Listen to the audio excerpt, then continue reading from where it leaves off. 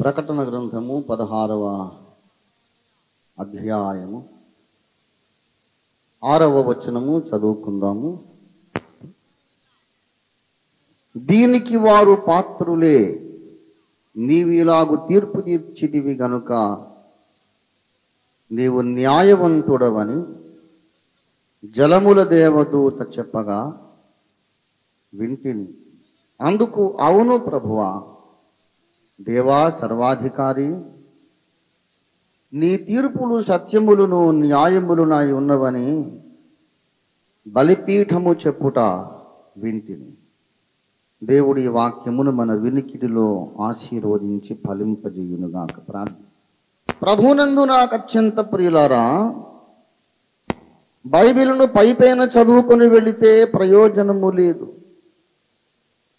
బైబిలును దాంట్లో ఉన్న అక్షరాలను మాత్రమే చదివితే ప్రయోజనం లేదు. బైబిలును కాస్త సమయము తీసుకొని సమయము కేటాయించి కష్టపడి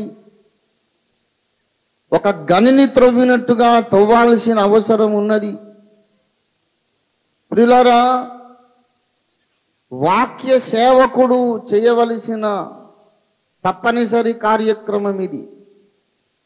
మళ్ళీ ఓ కొత్త సంగతి బయటకు వచ్చింది వాక్య సేవకుడు అనే మాట నేను వాడాను. దైవ సేవకులలో ఒక ప్రత్యేక వర్గం ఉన్నారు వాళ్ళ పేరు వాక్య సేవకులు ఈ విషయం నేను చెప్పలేదు బైబిలే చెప్పింది. ఎక్కడ చెప్పింది అంటే చూడండి దయచేసి లూకాసు వార్త ప్రారంభ వచనాలు చదవండి. లూకాసు వార్త ప్రారంభ వచనాలు చదవండి దయచేసి. ఓ థియోఫిలా. ఆరంభము నుండి కన్నులార చూచి వాక్య సేవకులైన వారు చాలు చాలు చాలు. ఆరంభము నుండి కన్నులార చూచి ఏం సేవకులయ్యారు? దైవ సేవకులు అనే మాట వేరు వాక్య సేవకులు అనే మాట వేరు. Ministers of the world. ఇది చాలా ప్రత్యేకమైన పదవి ప్రత్యేకమైనటువంటి పరిచర్య ప్రత్యేకమైనటువంటి స్థానము హోదా. All the servants of God are not the ministers of the world వాక్యమును బోధించుటలో శక్తి కలిగిన వారు వాక్యమును బోధించుటలో ప్రత్యేకమైన సామర్థ్యము కలిగిన వారు. వాక్యమును బోధించుటలో ప్రత్యేక ప్రత్యక్షత కలిగిన వారు ఉన్నారు. వారు పిల్లరా వాక్య సేవకులు వాక్య సేవకులు. మరి మిగతా సేవకులు వాక్య సేవకులు గారా? అంటే కారు. వాక్య సేవ అనేది చాలా ప్రత్యేకమైన సేవ. మధుర మధుర సేవ అనే పాటలు. రెవరెండ్ ఏబి మాసిలామణి అయ్య గారు ఇలా రాశారు. ప్రభుని పేర ప్రజల ఎదుట ప్రవచనాల సేవ. ప్రజల పేర ప్రభుని ఎదుట ప్రార్థనలు వచించు సేవ. పరిమళించు వాక్య సేవ ప్రతిఫలించు సాక్ష్య సేవ నాలుగు రకాల సేవ చెప్పాడు ఆయన. పాట గనుక వాక్య సేవ అనేది all the preachers are not the ministers of the world ఒకవేళ వాక్య సేవ ఎవరైనా చేయాలంటే దాని కొరకు దేవుడు వారికి ప్రత్యేకమైన సామర్థ్యమునివ్వాలి అట. మొదటి పేతురు నాలుగవ అధ్యాయం పదకొండవ వచనం. మొదటి పేతురు నాలుగు పదకొండు. చదవండి. ఎవడైనను బోధించిన ఎడల దేవోక్తులను బోధించినట్లు బోధించవలెను. ఉపచారము చేసిన ఎడల దేవుడు అనుగ్రహించు. సామర్థ్యము కొలది దేవునికి స్తోత్రం కలుగునుగాక. ఏమండి? దేవుడు అనుగ్రహించే సామర్థ్యము లేనిది ఉపచారము చేయలేము పరిపాలన చేయలేము వాక్యమును బోధించలేము. వాక్య సేవకుడు ప్రత్యేకంగా వాక్యము అనేది ఒక ప్రత్యేక వరం. ఏమండి? లూకాసు వార్త ఇరవై నాలుగవ అధ్యాయం చూడండి దయచేసి. పంతొమ్మిది. వారు నజరేయుడైన యేసును గూర్చిన సంగతులే. ఆ, ఆయన దేవుని ఎదుటను ప్రజలందరి ఎదుటను హల్లెలూయ క్రియలోను వాక్యములోను హల్లెలుయ దేవునికి స్తోత్రం కలుగును గాక. క్రియలో శక్తి కలిగిన ప్రవక్త వాక్యములో శక్తి కలిగిన ప్రవక్త. ఏసయ్య వాక్యములో శక్తి కలిగిన వాటి it's a special quality talent gift special ability ప్రిలారా అందుకే మత్తైసు వార్త ఏడవ అధ్యాయము ఇరవై ఎనిమిది ఇరవై తొమ్మిది వచనాల్లో మనం చూస్తే యేసు ఈ మాటలన్నీ చెప్పి ముగించినప్పుడు ఈ ఆ జనసమూహములు ఆయన బోధకు ఆశ్చర్యపడుచుండిరి ఏలయనగా. ఆయన వారి శాస్త్రుల వలె కాక అధికారము గల వాని వలె బోధించను. ఆయన దగ్గర తడబాటు లేదు మొహమాటం లేదు. అవునో కాదో సందేహం లేదు ఎవడేమనుకుంటాడనే బాధ అసలే లేదు. నేను మీతో చెప్పునదేమనగా మీతో నిశ్చయముగా చెప్పుచును ఎవరండి ఈయన? పైనుంచి ఊడిపడ్డట్టే మాట్లాడుతున్నాడు. అంటే మరి లెనార్డ్ రావెన్ హిల్ గారు ఉజ్జీవం ఆగిపోతోంది ఎందుకు అనే ఒక చిన్న గ్రంథంలో ఈ మాట అంటారు. వాక్యమును గూర్చి మాట్లాడగలిగిన వాళ్ళు ఎందరో ఉన్నారు. కానీ వాక్యమే ఎదుట నిలిచి మాట్లాడుతున్నట్లు ప్రసంగించగలవారు బహు తక్కువ. అటువంటి వారు సంఘానికి కావాలి అన్నాడు. తాగు మాట్లాడేవాళ్ళు మనకు కావాలి అన్నాడు. వాళ్ళ పేరు వాక్య సేవకులు. దేవునికి స్తోత్రం కలుగును గాక. ప్రిలారా అన్ని కృపావరములు సంఘానికి కావాలి. స్వస్థపరిచే వరం అవసరమే. ప్రవచన వరం అవసరమే. అన్య భాషా వరం అవసరమే. వివేచన వరం కావాలి. విశేషంగా ఈనాడు వివేచన వరం కావాలండి. ఎందుకంటే ఆర్థిక రంగములో నకిలీ నోట్లు ఎక్కువైపోయినాయి. ఆధ్యాత్మిక రంగములో పరిశుద్ధాత్మ కృపావరాలకు నకిలీ వరాలు ఎక్కువైపోయింది నకిలీ ప్రవచనాలు నకిలీ భాషలు నకిలీ దర్శనాలు అన్ని నకిలీ నకిలీ నకిలీ నోట్లు. గనుక మనకు వివేచన వరం కావాలి. అన్ని వరాలు కావాలి. అందులో మనకు ప్రాణాధారమైనది వాక్య పరిచర్య కృపావరము. దేవునికి స్తోత్రం కలుగును గాక మనల్ని బ్రతికించేది ఏమిటండి? వాక్యమే వాక్యమే బ్రతికిస్తుంది. వాక్యాన్ని మించింది లేదు. అన్నిటికంటే దేవుడు తన వాక్యాన్నే గొప్ప చేశాడుట. దేవుడు తన నామమంతటి కంటే కూడా నూట ముప్పై ఎనిమిదవ కీర్తన రెండవ వచనం నూట ముప్పై ఎనిమిదో కీర్తన రెండో వచ్చిన రెండో భాగములో. నీ నామమంతటి కంటే హల్లెలూయ నీవిచ్చిన వాక్యమును నీవు గొప్ప చేసి ఉన్నావు. దేవుని బిడ్డలారా దేవుడే వాక్యాన్ని ఘనపరిచారట. మరి మనం ఏం చేయాలి? వాక్యాన్ని కించపరచాలా? కొంతమంది అంటారు ఆ బోధే ఉందండి. ఎవడేం చేస్తాడు? బోధే ఉంది. సరైన సేవకుడైతే ఒక్క స్వస్థత చేయమనండి చూద్దాం. అనే అభిప్రాయం అంతర్లీనంగా ప్రజల్లో నెలకొని ఉంది. దైవజనుడు అంటే తప్పకుండా ప్రార్థన చేసి రోగాలు బాగు చేసిన వాడే సేవకుడని. చాలా తప్పున్నర తప్పు అభిప్రాయం స్వస్థతలు దేవుడు చేస్తాడు దయ్యం కూడా చేస్తాడని మీరు గ్రహించాలని దేవుని ప్రతినిధిగా మిమ్మల్ని బతిమాలుకుంటున్నాను. అట్లా మాయలో ఉండకండి రేపు వెళ్ళి అబద్ధ క్రీస్తు సంఘంలో చేరతారు మీరు. స్వస్థతలు మహత్కార్యములు సూచక క్రియలు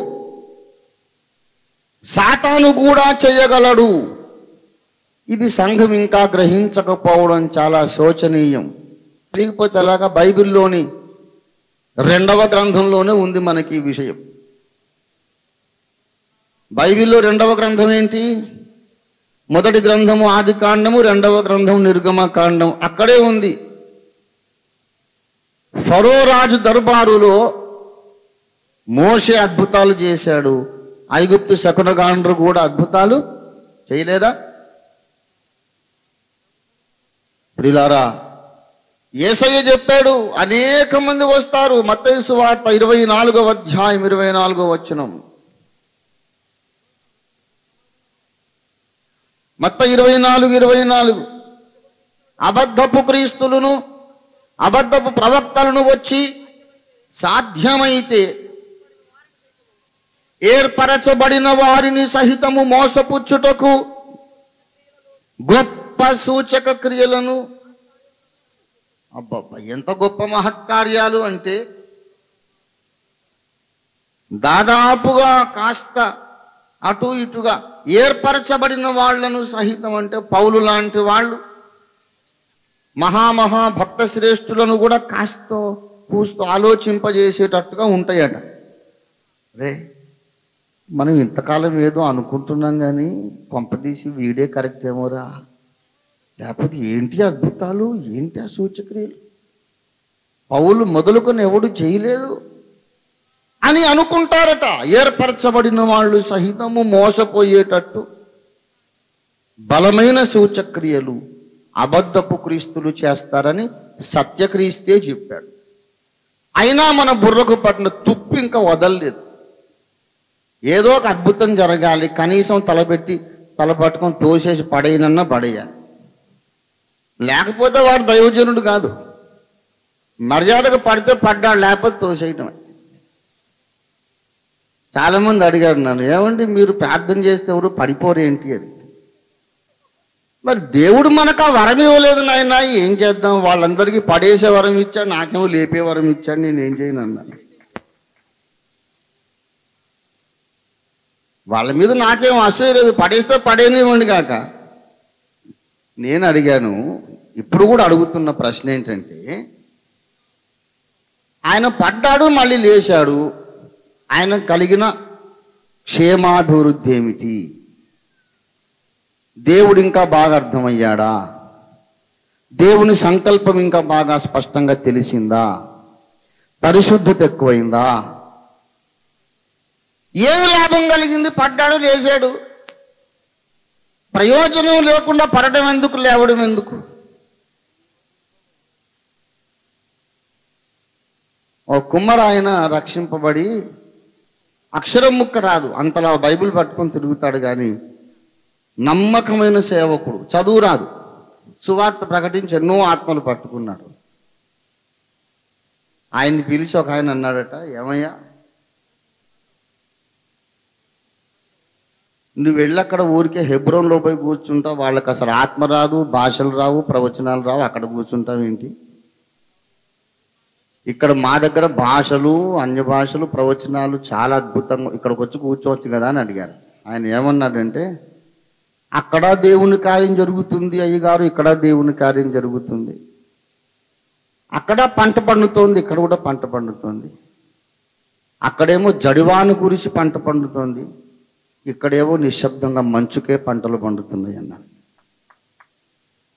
ఇక్కడ పరిశుద్ధాత్మ దేవుడు కార్యం చేసి ఆత్మ రక్షింపబడుతున్నారు. ఎవరిని మనం తృణీకరించొద్దు. ముంగమూరు దేవదాసాయి గారు చెప్పినట్టు ఏ వ్యక్తిని గాని ఏ మతమును గాని ఏ డినామినేషన్ను గాని మనము ద్వేషించరాదు దూషించరాదు. హెబ్రోను దేవుని సంఘమే బ్యాప్టిస్ట్ వాళ్ళు దేవుని సంఘమే పెంతకోస్తు వారు దేవుని సంఘమే. Church of South India church of Christ వారు. ఏసయ్య నా దేవుడు అన్నోళ్ళందరూ దేవుని బిడ్డలే నాకు అన్నదమ్ములే అనే విశాల హృదయం ఉండాలి. ఎవరిని తృణీకరించొద్దు. అది దేవుడు నాకు నేర్పిన గొప్ప పాఠం. మెట్టుకు ఎన్ని సూచక క్రియలు చేసినా ఒక మనిషిని రక్షించేది బలపరిచేది నిలబెట్టేది బ్రతికించేది రాకడకు సిద్ధపరిచేది మహిమలో ప్రత్యక్షపరిచేది దేవుని వాక్యోపదేశమే గాని మిగతా ఏవీ కాదు. దేవునికి స్తోత్రం కలుగును గాక సేవకులు కావాలి వాక్య సేవ కావాలి. అందులో వాక్య సేవకుడు ఎందుకొరకు కావాలి అంటే దేవుని గ్రంథము అంత సులభముగా అర్థమయ్యేది కాదు. వాక్య ప్రత్యక్షము కలిగిన శక్తి కలిగిన ప్రవక్త నోటిని దేవుడు వాడుకొని మాట్లాడితే తప్ప బైబిల్లోని మర్మములు ఎక్కడివక్కడే కప్పబడి మోయబడి తాళాలు పెట్టబడి ఉంటాయి. ఆ తాళాలు తెరిచే శక్తి భూమి మీద ఎక్కడా లేదు. మేధావి చదవనీయండి. మహాజ్ఞాని సకల శాస్త్ర పారంగతుడు చదవనీయండి. వాడికి ఒక్క ముక్క అర్థం కాదు. మానవ జ్ఞానమునకు బైబిల్ అర్థం కాదు. ఎందుకనగా మహాజ్ఞాని అయిన దావీదే ప్రార్థన చేశాడు. నూట పంతొమ్మిదవ కీర్తన పద్దెనిమిదవ వచనంలోని ఆ ప్రఖ్యాత ప్రార్థన. ఏమిటి చెప్పండి? దేవాని ధర్మశాస్త్రములో ఆశ్చర్యమైన సంగతులను చూచున్నట్లు నా కన్నులు తెరువు. ధర్మశాస్త్రములు ఏమున్నాయండి? ఆశ్చర్యమైన సంగతులు. ఆశ్చర్యమైన సంగతి అని దేన్ని అంటాము చెప్పండి. ఆశ్చర్యమైన సంగతిని దేన్ని అంటాం మనము ఎదురు చూడని సంగతి మనకు కనపడితే అది ఆశ్చర్యం. అక్కడ ఆ సంగతి ఉంటుంది అని మనం అనుకోలేదు కానీ ఉంటుంది. అప్పుడు ఆశ్చర్యం. మనం అనుకున్నదే కనబడింది అనుకోండి ఆశ్చర్యమే ఉంది. మన ఊహకు వ్యతిరేకంగా మన ఊహకు అతీతంగా మనం కలలో కూడా ఊహించని విషయం అక్కడ కనబడింది కాబట్టి దాన్ని ఆశ్చర్యమైన సంగతి అంటాం. అలాంటి ఆశ్చర్యాలు బైబిల్లో ఎన్నో ఉన్నాయి. మొదటి పేజీ నుండి మొదటి వచనము నుండి లెక్కలేనన్ని ఆశ్చర్యమైన సంగతులు. బైబిల్ గ్రంథం ముందు ఎంత పండితుడైనా సాష్టాంగ పడాల్సిందే మన జ్ఞానం ఎందుకు పనికిరాదు? దేవుడు మన కన్నులు తెరచి సత్యాన్ని మనకు కనపరచాలి. దాన్నే ప్రత్యక్షత అంటారు. దేవునికి స్తోత్రం కలుగునుగాక బైబిల్ని తెలివితో చదవడం కాదు ప్రత్యక్షత కలిగి చదవాలి. అప్పుడు అర్థమవుతుంది. వాక్యమును పరిశోధించాలి. ఏసై అన్నాడు వాక్యాన్ని పరిశోధించండి. లేఖనములను పరిశోధించుచున్నారు. పరిశోధించుడు యోహాను సువార్త ఐదవ అధ్యాయము ముప్పై తొమ్మిదో వచనం. తలంచుచు వాటిని పరిశోధించుచున్నారు. అవే నన్ను గూర్చి సాక్ష్యమిచ్చుచున్నవి. లేఖనముల యందు నిత్య జీవము కలదని తలంచుచు వాటిని పరిశోధించుచున్నారు. ఫుట్ నోట్లో పరిశోధించుడి అన్నాడు. పరిశోధించుడి అని కూడా దాన్ని తర్జుమా చేయవచ్చు. ఎజ్రా చరిత్ర గ్రంథము ఏడవ అధ్యాయము పదో వచనం చూడండి.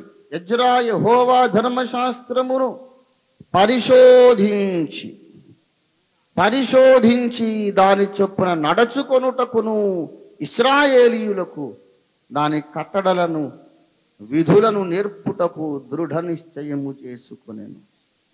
ఎజ్రా ఏం నిర్ణయం తీసుకున్నాడు? నేను పరిశోధిస్తాను. వాక్యాన్ని పరిశోధిస్తాను దాంట్లో చాలా మ్యాటర్ ఉంది. చాలా ఎందుకు పరిశోధించాలంటే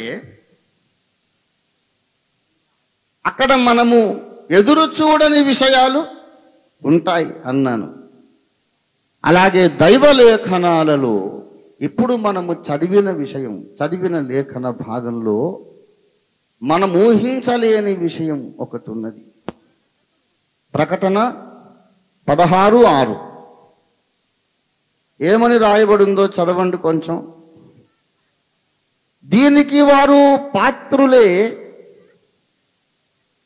ఇలాగు తీర్పు తీర్చిదివి కనుక నీవు న్యాయవంతుడవని ఎవరు చెప్పారు?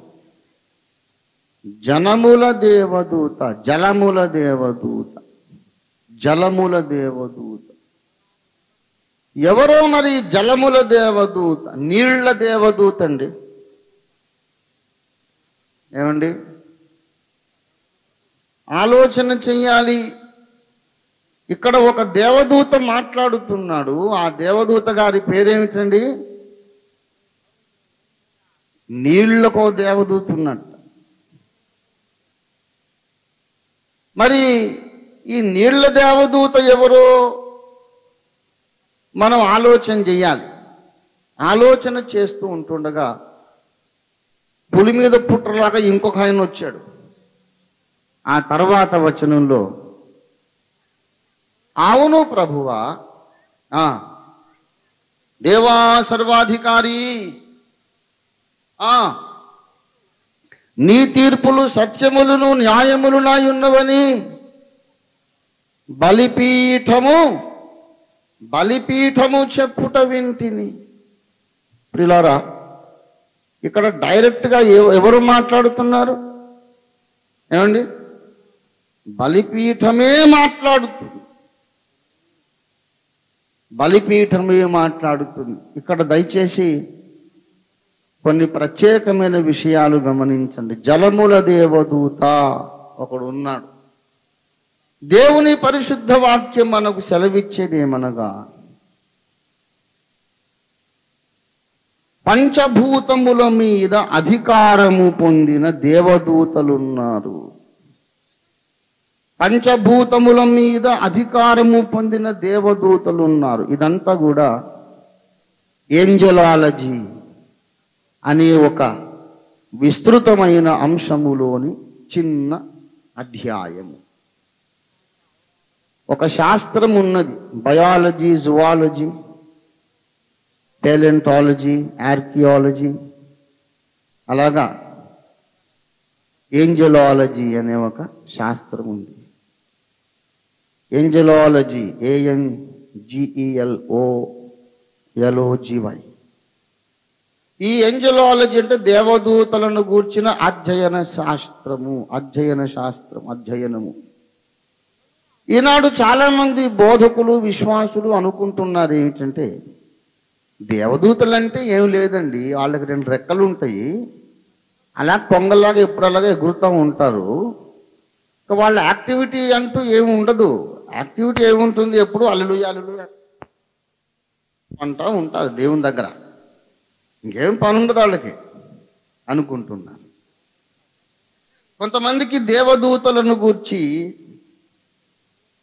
చాలా తక్కువ అభిప్రాయం. ఇదంతా మిడిమిడి జ్ఞానం. తెలియక ఆ వాళ్ళదేముందండి? వాళ్ళు మన సేవకులండి. ఒక సేవకుడు మాట్లాడగా ప్రార్థన చేయగా నేను విన్నాను. దేవదూతలారా మీరు వచ్చి ఇక్కడ పరిచయ చేయమని మిమ్మల్ని ఆజ్ఞాపిస్తున్నాను. అని ఈయన ప్రార్థన చేశాడు. నేను అడిగా బ్రదర్ అలా చేయకూడదు తప్పు కదా? అంటే అయ్యో బ్రదర్ మీకు తెలీదా? దేవదూతలంటే మనకు పరిచారము చేయుటకు పంపబడిన సేవకులైన ఆత్మలు కారా? అన్నాడు. హెబ్రీ పత్రిక ఒకటి పద్నాలుగు. హెబ్రీ పత్రిక మొదటి అధ్యాయం చివరి వచనంలో ఉన్న మాట. వీరందరూ రక్షణయను స్వాస్థ్యము పొందబో వారికి పరిచారము చేయుటకై పంపబడిన సేవకులైన ఆత్మలు గారా? అన్నాడు. కనుక సేవకులంట మన ఇంటి నౌకర్లు అనుకుంటున్నాడు? ఆయన దేవదూతలు మన మాట వినేటట్టుంటే మన చేతికి మట్టంటకుండా ఎన్నో మడ్డర్లు జరిగిపోతాయి. నువ్వు నేను చెప్తే వినరు వాళ్ళు. నవ్వుకుంటారు. పిచ్చివహం వాడు వాడు చెప్తే వాడు వింటాడు. యహోవా తండ్రి చెప్పాలి. ఏసై చెప్పాలి. ప్రిలారా పరలోకమందును భూమి మీదను సర్వాధికారము కలిగిన ఏసయ్య. మన ప్రార్థనలను ఒక పరిమిత స్థాయిలో మాత్రమే వింటాడు బాగా గమనించాలి. నీ ప్రార్థన నీ మాట నూటికి నూరు శాతం వింటే అసలు ఆయన దేవుడే కాదు. మన ఇంటి ముందు నౌకర అయిపోతాడు. నువ్వు చెప్పిందల్లా చేస్తే ఆయన దేవుడు ఎందుకు? నువ్వే దేవుడివి. నువ్వు అడిగిందల్లా ఇయ్యడు నువ్వు చెప్పిందల్లా చేయడయ్యా తెలుసుకో. నువ్వు చెప్పిందల్లా చేస్తే నీ ఇంట్లో నౌకరు ఆయన. దేవుడంటే మీ ఇంట్లో పనోడు అనుకున్నావా మొదటి యోహాను పత్రిక ఐదవ అధ్యాయము. వాక్యమును వినండి వాక్యమును గ్రహించండి వాక్యమును నమ్మండి. ఐదు పదునాలుగు.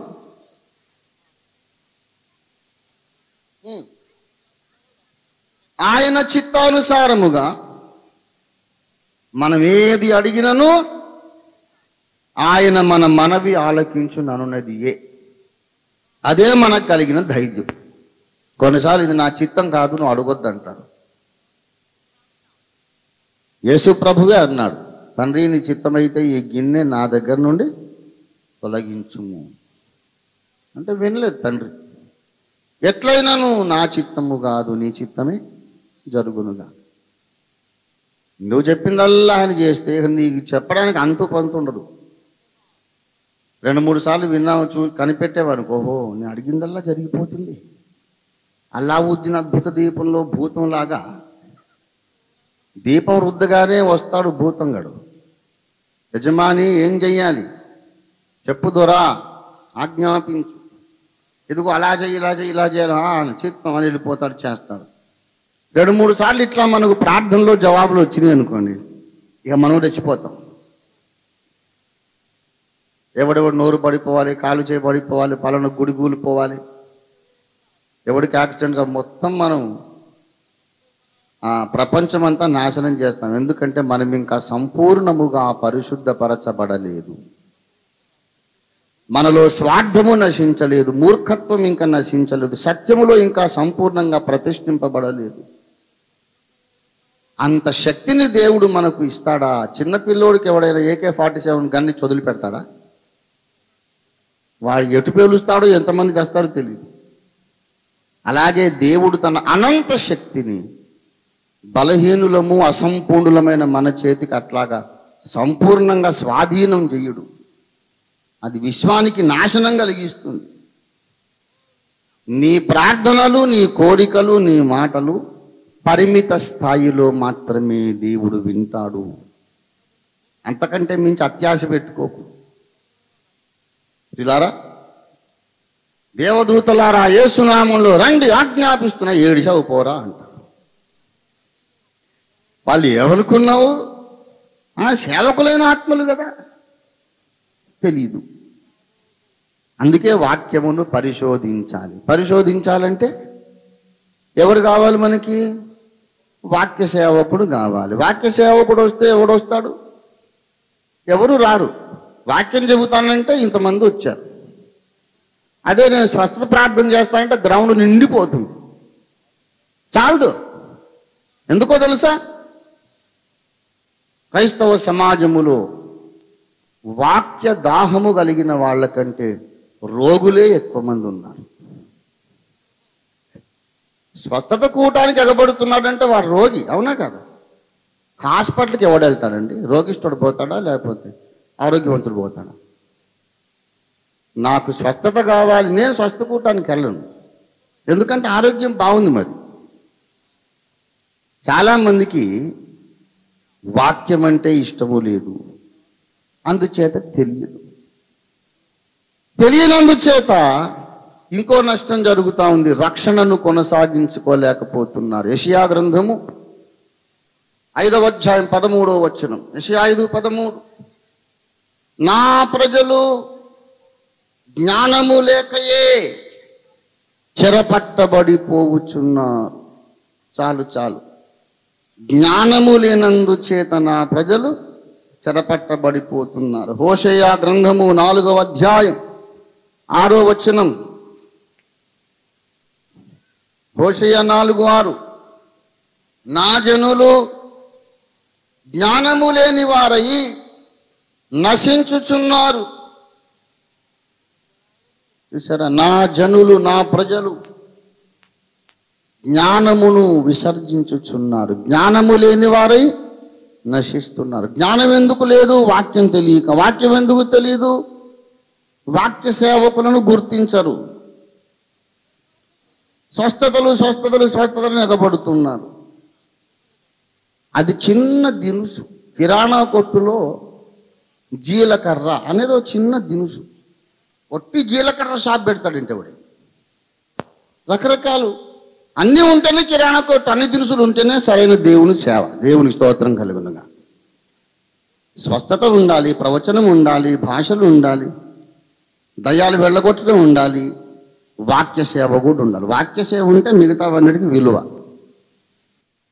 వరముల కంటే వాక్య సేవా వరము గొప్పది. ఎందుకు? నూట ముప్పై ఎనిమిదో కీర్తన రెండు ప్రకారం. దేవుని నామం అంతటి కంటే ఆయన ఇచ్చిన వాక్యాన్ని గొప్ప చేశాడు. దేవునికి స్తోత్రం కలుగును గాక. వాక్య సేవా వరమును మిగతా వరాలు లేకపోయినా నష్టము లేదు కానీ మిగతా వరములుండి వాక్య సేవా వరము లేకపోతే ఏం జరుగుతుంది? ప్రజలకు జ్ఞానము రాదు. జ్ఞానము లేని వారై నశించిపోతారు. వాక్యములో ఉన్న సంగతి ఏంటంటే దేవదూతలను గూర్చిన శాస్త్రము దేవదూతలను గూర్చిన సత్యము ఏంజలాలజీ. ఈ ఏంజలాలజీలో హెబ్రి ఒకటి పదునాలుగు ఒక చిన్న వర్గమును గూర్చి మాత్రమే మాట్లాడుచున్నది. వీరందరూ రక్షణయను స్వాస్థ్యమును పొందుచున్న వారికి పరిచారము చేయుటకై పంపబడిన సేవకులైన ఆత్మలుగారా అన్నాడు. అది ఒక చిన్న వర్గము a small section of angels దేవదూతలలో అనేక వర్గములున్నారు. పిల్లారా అసలు దేవదూతలు అనే మాట మిస్లీడింగ్ నేమ్ మనల్ని తప్పుదారి పట్టిస్తుంది. వాళ్ళను దేవదూతలు అనవద్దు దేవకుమారులు అనాలి. దేవకుమారులు అన్న మూల భాషా పదం అనేక సార్లు లేఖనాలలో దూతలు అని తర్జుమా చేయబడింది. దేవకుమారులు. యోబు ముప్పై ఎనిమిదవ అధ్యాయము ఏడవ వచనములో యోబు ముప్పై ఎనిమిది ఏడులో చూడండి దేవదూతలందరూ ఆనందించి జయధ్వనులు చేసినప్పుడు దాని మూలరాతిని వేసిన వాడెవడు? దేవదూతలందరూ అంటే కింద ఫుట్ నోట్ చూడండి. దేవకుమారులందరూ. దేవునికి కుమారులు ఉన్నారు వాళ్ళ పేరు దేవకుమారులు అనాలి. లేకపోతే ఇంకో పేరు పెట్టొచ్చు. తేజోవాసులైన పరిశుద్ధులు. కొలసీ పత్రిక మొదటి అధ్యాయం పన్నెండో వచనం. తొమ్మిది పన్నెండు కలిసి ఉన్నాయి ఎందుకో వచనాలు విభజించలేదు తర్జుమాదారులు. సగం నుండి చదువుతానైనా ఆయన. ఆయన మహిమ శక్తిని బట్టి సంపూర్ణ బలముతో అక్కడి నుంచి చూడండి. బలపరచబడవలననియు. తేజోవాసులైన పరిశుద్ధుల స్వాస్థ్యములో పాలివారమగుటకు. మనలను పాత్రులుగా చేసిన తండ్రికి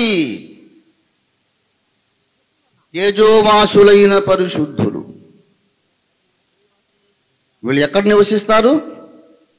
తేజస్సులో వెలుగులో నివసించే పరిశుద్ధులు. తేజోవాసులైన పరిశుద్ధులని వాళ్ళకు పేరు.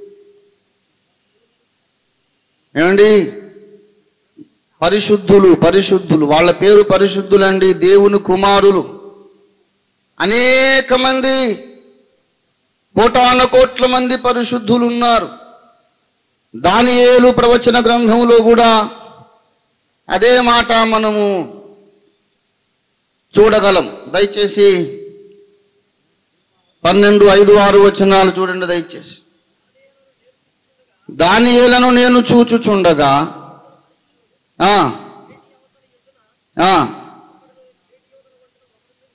ఏటి అవతల ఒకడు యువతలో ఒకడు నిలబడ్డారు? ఆ. ఆ, ఆ. ఏటి నీళ్ళ పైన ఆడుచూ ఉండువాడు? దేవుని బిడ్డలారా ఆ. ఈ ఆశ్చర్యము ఎప్పుడు సమాప్తమగునని అడుగగా.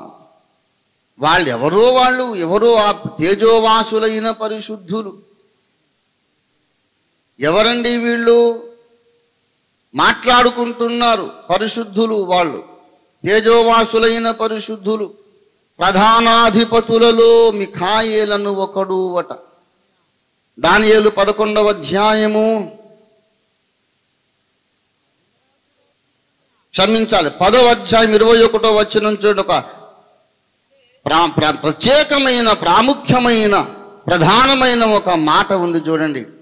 ఈ సత్య గ్రంథమందు రాసినది నీతో చెప్పేదను మీ అధిపతి.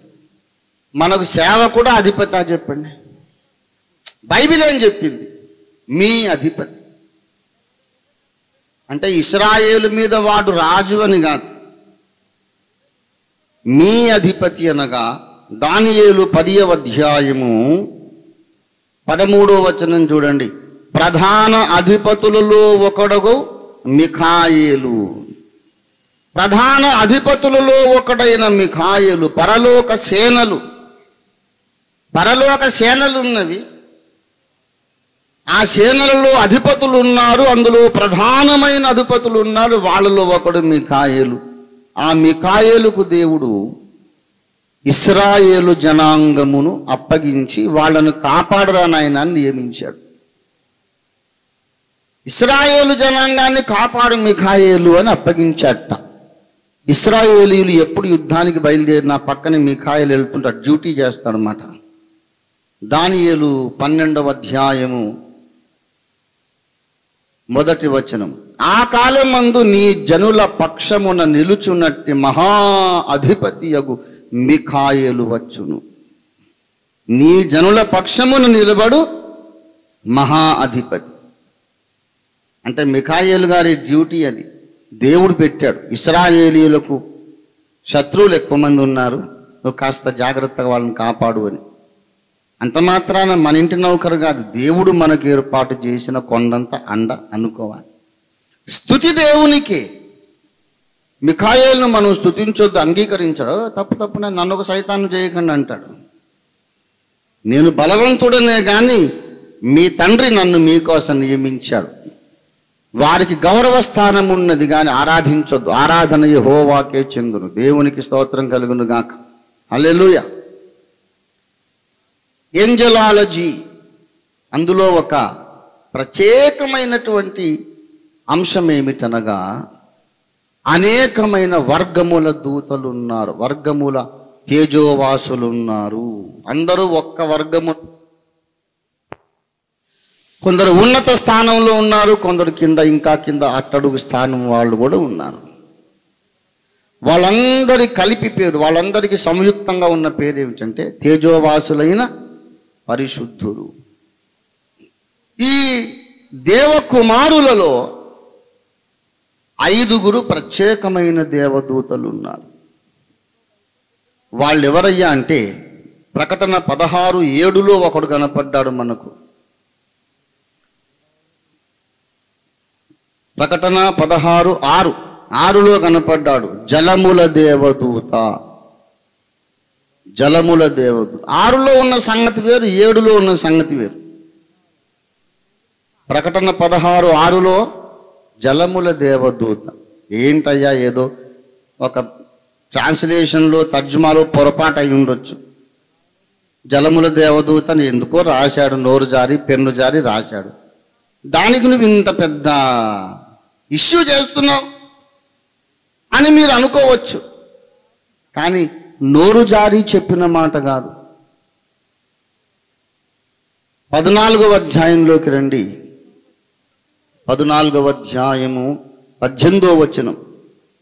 ఇతడు అగ్ని మీద అధికారము నొందినవాడు. మరి ఒక దూత బలిపీఠము నుండి వెడలి వచ్చెను. ఇతడు అగ్ని మీద అధికారము నొందినవాడు. పదహారు ఆరులో ఉన్నాయన? జలముల మీద అధికారం పొందాడు. తర్వాత పద్నాలుగు పద్దెనిమిదిలో ఉన్నాయన? అగ్ని మీద అధికారము పొందినవాడు. అంతేకాదు ప్రకటన ఏడు ఒకటి చూడండి. అటు తరువాత భూమి యొక్క నాలుగు దిక్కులలో నలుగురు దేవదూతలు నిలిచి ఉండి భూమి మీద నాయనను సముద్రం మీద నాయనను ఏ చెట్టు మీద నాయనను గాలి వీచకుండునట్లు నాలుగు దిక్కుల వాయువులను పట్టుకొని ఉండగా ఇప్పుడు ఈ దేవదూతలు దేని మీద అధికారం పొందారు? పంచభూతములు ఉన్నవి కదా. గాలి నీరు అగ్ని ఈ మూడు కూడా ఎందులోకి వస్తాయి? పంచభూతములు. దేవుడు ఈ విశ్వమును ఐదు భూతములతో నిర్మించాడు. భూతములు అనగా దయ్యాలు భూతాలు అంటాం. ఆ భూతాలు కాదు. భూతములనగా విశ్వ నిర్మాణమునకు దేవుడు ఉపయోగించిన మౌలిక సరుకులు. Elementary material with which God had built up this universe ఈ విశ్వమును కట్టడానికి ఒక ఇంటిని కట్టడానికి ఇటుకలు కావాలి ఇసుక కావాలి సిమెంట్ కావాలి ఇనుప చువ్వలు కావాలి కొంత కలప కావాలి కొంత గ్రనైట్ రాళ్ళు కావాలి ఇవన్నీ ఉంటేనే ఇల్లు కట్టగలము. ఇల్లు కట్టడానికి సరుకులు ఎలాగూ అవసరమో అలాగే ఈ విశ్వాన్ని నిర్మాణము చేయడానికి ఐదు సరుకులను దేవుడు వాడాడు. భూమి ఆకాశము గాలి నీరు అగ్ని. భూమి అంటే ఈ మన కాళ్ళ కింద ఉన్నటువంటిది ఒక్కటే కాదు. ఎన్ని గ్రహాల మీదనైనా సంచరించినప్పుడు కాళ్ళ కింద తగిలే నేలనంతా కలిపి భూమి అన్నాం. తల మీద కనిపించే నీలాకాశమును ఖాళీ స్థలమును ఆకాశం అన్నాం గాలి ఉంది అగ్ని ఉంది నీరుంది. ఆకాశము మీద అధికారం పొందిన దూతలున్నారు. పంచభూతముల మీద అధికారం పొందిన దేవదూతలున్నారు. ఉన్నారు ఏంజలాలజీలో ఇదొక ముఖ్యమైన విషయం. దేవదూతలు అనగా అందులో ఎన్ని వర్గములున్నవో చూడండి. దేవకుమారులలో కొందరు దేవునికి ఆలోచన సభగా దేవుని సన్నిధిలో పనిచేస్తూ ఉన్నారు. యషయా ప్రవచన గ్రంథము పద్నాలుగవ అధ్యాయం పదమూడవ వచనం. నేను ఆకాశమునకెక్కిపోయేదను దేవుని నక్షత్రాలకు పైగా నా సింహాసనమును హెచ్చించెదను. ఉత్తర దిక్కున ఉన్న సభా పర్వతము మీదికి ఎక్కిపోయి కూర్చుందును ఉత్తర దిక్కున ఒక పర్వతం ఉన్నది ఆ పర్వతం పేరు ఏమిటంట సభా పర్వతం. అంటే ఆ పర్వతము మీద ఒక సభ సమావేశమవుతుంది. విధాన సభ అంటాం. ఆ బిల్డింగ్ పేరే విధాన సభ విధాన సౌధం విధాన సభా సౌధము లెజిస్లేటివ్ అసెంబ్లీ ఆఫ్ ఆంధ్రప్రదేశ్ అని బోర్డు పెడతాం. అక్కడ సభ సమావేశం అవుతుంది చట్టాలు చెయ్యాలి శాసనాలు నిర్మాణం చెయ్యాలి పరిపాలన చెయ్యాలి. చట్టములు రూపించడానికి అధికారము కలిగిన ఆలోచన సభ ఒకటి. మనకున్నట్లు పరలోకంలో కూడా ఉంది. ఆ సభ కూర్చుండే కొండ పేరు ఎత్తైన స్థలము పేరు సభా పర్వతము బైబిల్లో ఉన్న మాట. పర్వతం అనే మాట చూపించి ఆలోచన సభ ఏదేదో చెబుతున్నావేంటి అని మీరు అడగొచ్చు అడగాలి. ప్రశ్నించకపోతే మీరు సత్యంలో స్థాపించబడలేరు. యోబు గ్రంథంలో ఎలీఫజు ఈ మాటను పలికాడు. పదిహేనవ అధ్యాయము ఎనిమిదో వచనం. ఏమయ్యా యోబు? అంతా నీకే తెలిసినట్టు మాట్లాడుతున్నావు? నీవు మొదట పుట్టిన పురుషుడవు నీవేనా? నీవు పర్వతములకు ముందుగా పుట్టినవాడవా? దేవుని ఆలోచన సభలో చేరినవాడవా? దేవుని ఆలోచన సభలో నీవు చేరినవాడవా? అంటే ఒక సభ ఉంది దాని పేరేమిటి చెప్పండి? దేవుని ఆలోచన సభ.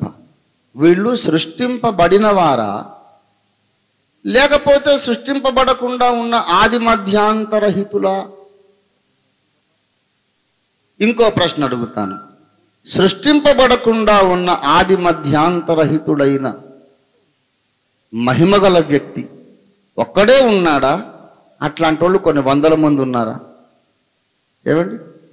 ఆరంభము లేనివాడు అంతము లేనివాడు ఎవడూ సృష్టింపకుండా తనంత తాను ఉన్నవాడు దేవుడు ఒక్కడేనా వేరే కొందరు కూడా ఉన్నారా?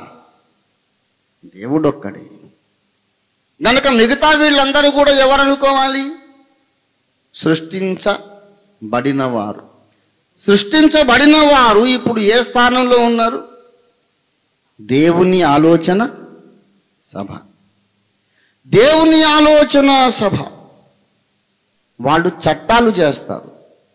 ఒక లోకానికి కాదు ఎంత తెలివైన వాళ్ళు అంటే మనము ఎంత రాకెట్లు నిర్మాణం చేసినా ఎంత ఆటం బాంబులు సృష్టించినా ఎన్ని కావ్యాలు ఎన్ని శాస్త్రాలు అభివృద్ధి చేసినా ఇవన్నీ వాళ్ళ ముందు హనుమంతుడి ముందు కుప్పిగంతులు అన్నట్టుగా ఉంటుంది. సంటోడు పర్వాలేదు రోయ్ బాగానే ఏదో ఓ బాంబు కనిపెట్టాడు ఓ చిన్న విమానం కనిపెట్టాడు అనుకుంటారు. వాళ్ళంతా మేధావులు వాళ్ళ ముందు ఐన్స్టీను న్యూటను గెలీలియో కొపర్నికస్ వాళ్ళ ముందు పసిపిల్లల అంటాడు అంత తెలివైన వాళ్ళు వాళ్ళు. ఒక లోకానికి కాదు. దేవుడు సృజించిన కోటాన కోట్ల లోకాలకు వాళ్ళు శాసనాలు చేస్తారు. భూమి మీద దేవుడు ఇస్రాయేలు జనాంగమును ప్రత్యేకించినప్పుడు అన్య జనాంగముల నుండి వారిని ప్రత్యేకించడానికి వారికి లేఖనాలను అప్పగించాలనుకున్నప్పుడు దేవుడు ధర్మశాస్త్రాన్ని ఎవరికి అప్పగించాడండి? ఎవరికి అప్పగించాడు? మోషేకు అప్పగించాడు ధర్మశాస్త్రాన్ని. ఈ ధర్మశాస్త్రమును దేవుడు మోషేకు అప్పగించాడు అనుకుంటున్నాం. కానీ వాస్తవానికి దేవుడు మోషేకు మోసేకు అప్పగించింది దేవుడు కాదు. దేవదూతలు అని లేఖను సెలవిస్తూ ఉంది. ఆ ధర్మశాస్త్రాన్ని మోషేకు దేవదూతలే నియమించి ఇచ్చారట. అది దేవదూతలు రచించిన ధర్మశాస్త్రమట. అపస్తుల కార్యాలు ఏడు యాభై మూడు చూడండి దయచేసి. బైబిలులోని అక్షరాలను తప్ప ఏమీ నమ్మొద్దు మీరు. దేవదూతల ద్వారా నియమింపబడిన ధర్మశాస్త్రమును మీరు పొందితిరి గాని దానిని గైకొనలేదు అన్నారు. ఏమండి ఉందా బైబిల్లో? దేవదూతల ద్వారా మీరు పొందిన ధర్మశాస్త్రం. మీరు నాకు చెప్పండి ధర్మశాస్త్రం యహోవా దేవుడు ఇచ్చాడా దేవదూతలు ఇచ్చారా ఏమండి? యహోవా దేవదూతలు ఇచ్చారా అంటే యహోవా దేవుని యొక్క దూతలు. సరే అయినా దూతలు ఇచ్చాడా? యహోవా దేవుడు డైరెక్ట్గా ఇచ్చాడా అని ప్రశ్న. ఏమండి? ఎవరొకరు ఇచ్చారు లేదు ధర్మశాస్త్రం కొట్టివేయబడిందని చెప్పిన తర్వాత ఎవరు ఇస్తే మనకెందుకు? ఏమండి? మనము ధర్మశాస్త్రం ఇప్పుడు ఉందా కొట్టివేయబడిందా అనే చర్చలో లేము. ధర్మశాస్త్రమును ఇచ్చిన వారెవరు? దేవదూతల ద్వారా నియమించబడ్డ ధర్మశాస్త్రం అన్నాడు. ఎవరు? స్టెఫను భక్తుడు కదా. మరి ఏదో ఆయన పొరపాటున అని ఉంటాడులేండి. కాసేపు అయితే రాళ్ళు వేసుకొట్టి చంపుతారు కదా. ఆ మరణ భయంలో మెంటలు వచ్చేసి ఏదో అనేసి ఉంటాడు. మీరు దాని మీద పెద్ద ఇష్యూ చేయకండి ఓఫీర్ గారు అని మీరు అనొచ్చు. పోనీ స్టెఫను ఒక్కడే ఆ మాట అనుంటే మనం పట్టించుకోము. పౌలన్న కూడా అన్నాడండి. గలతీ పత్రిక మూడవ అధ్యాయము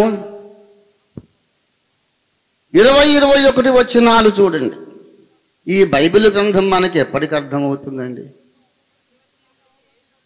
మధ్యవర్తి ఒకనికి మధ్యవర్తి కాడు గాని దేవుడు ఒక్కడే. ఆ. ధర్మశాస్త్రం ఎందుకు? పంతొమ్మిదో వచ్చిన చివరిలో ఉంది.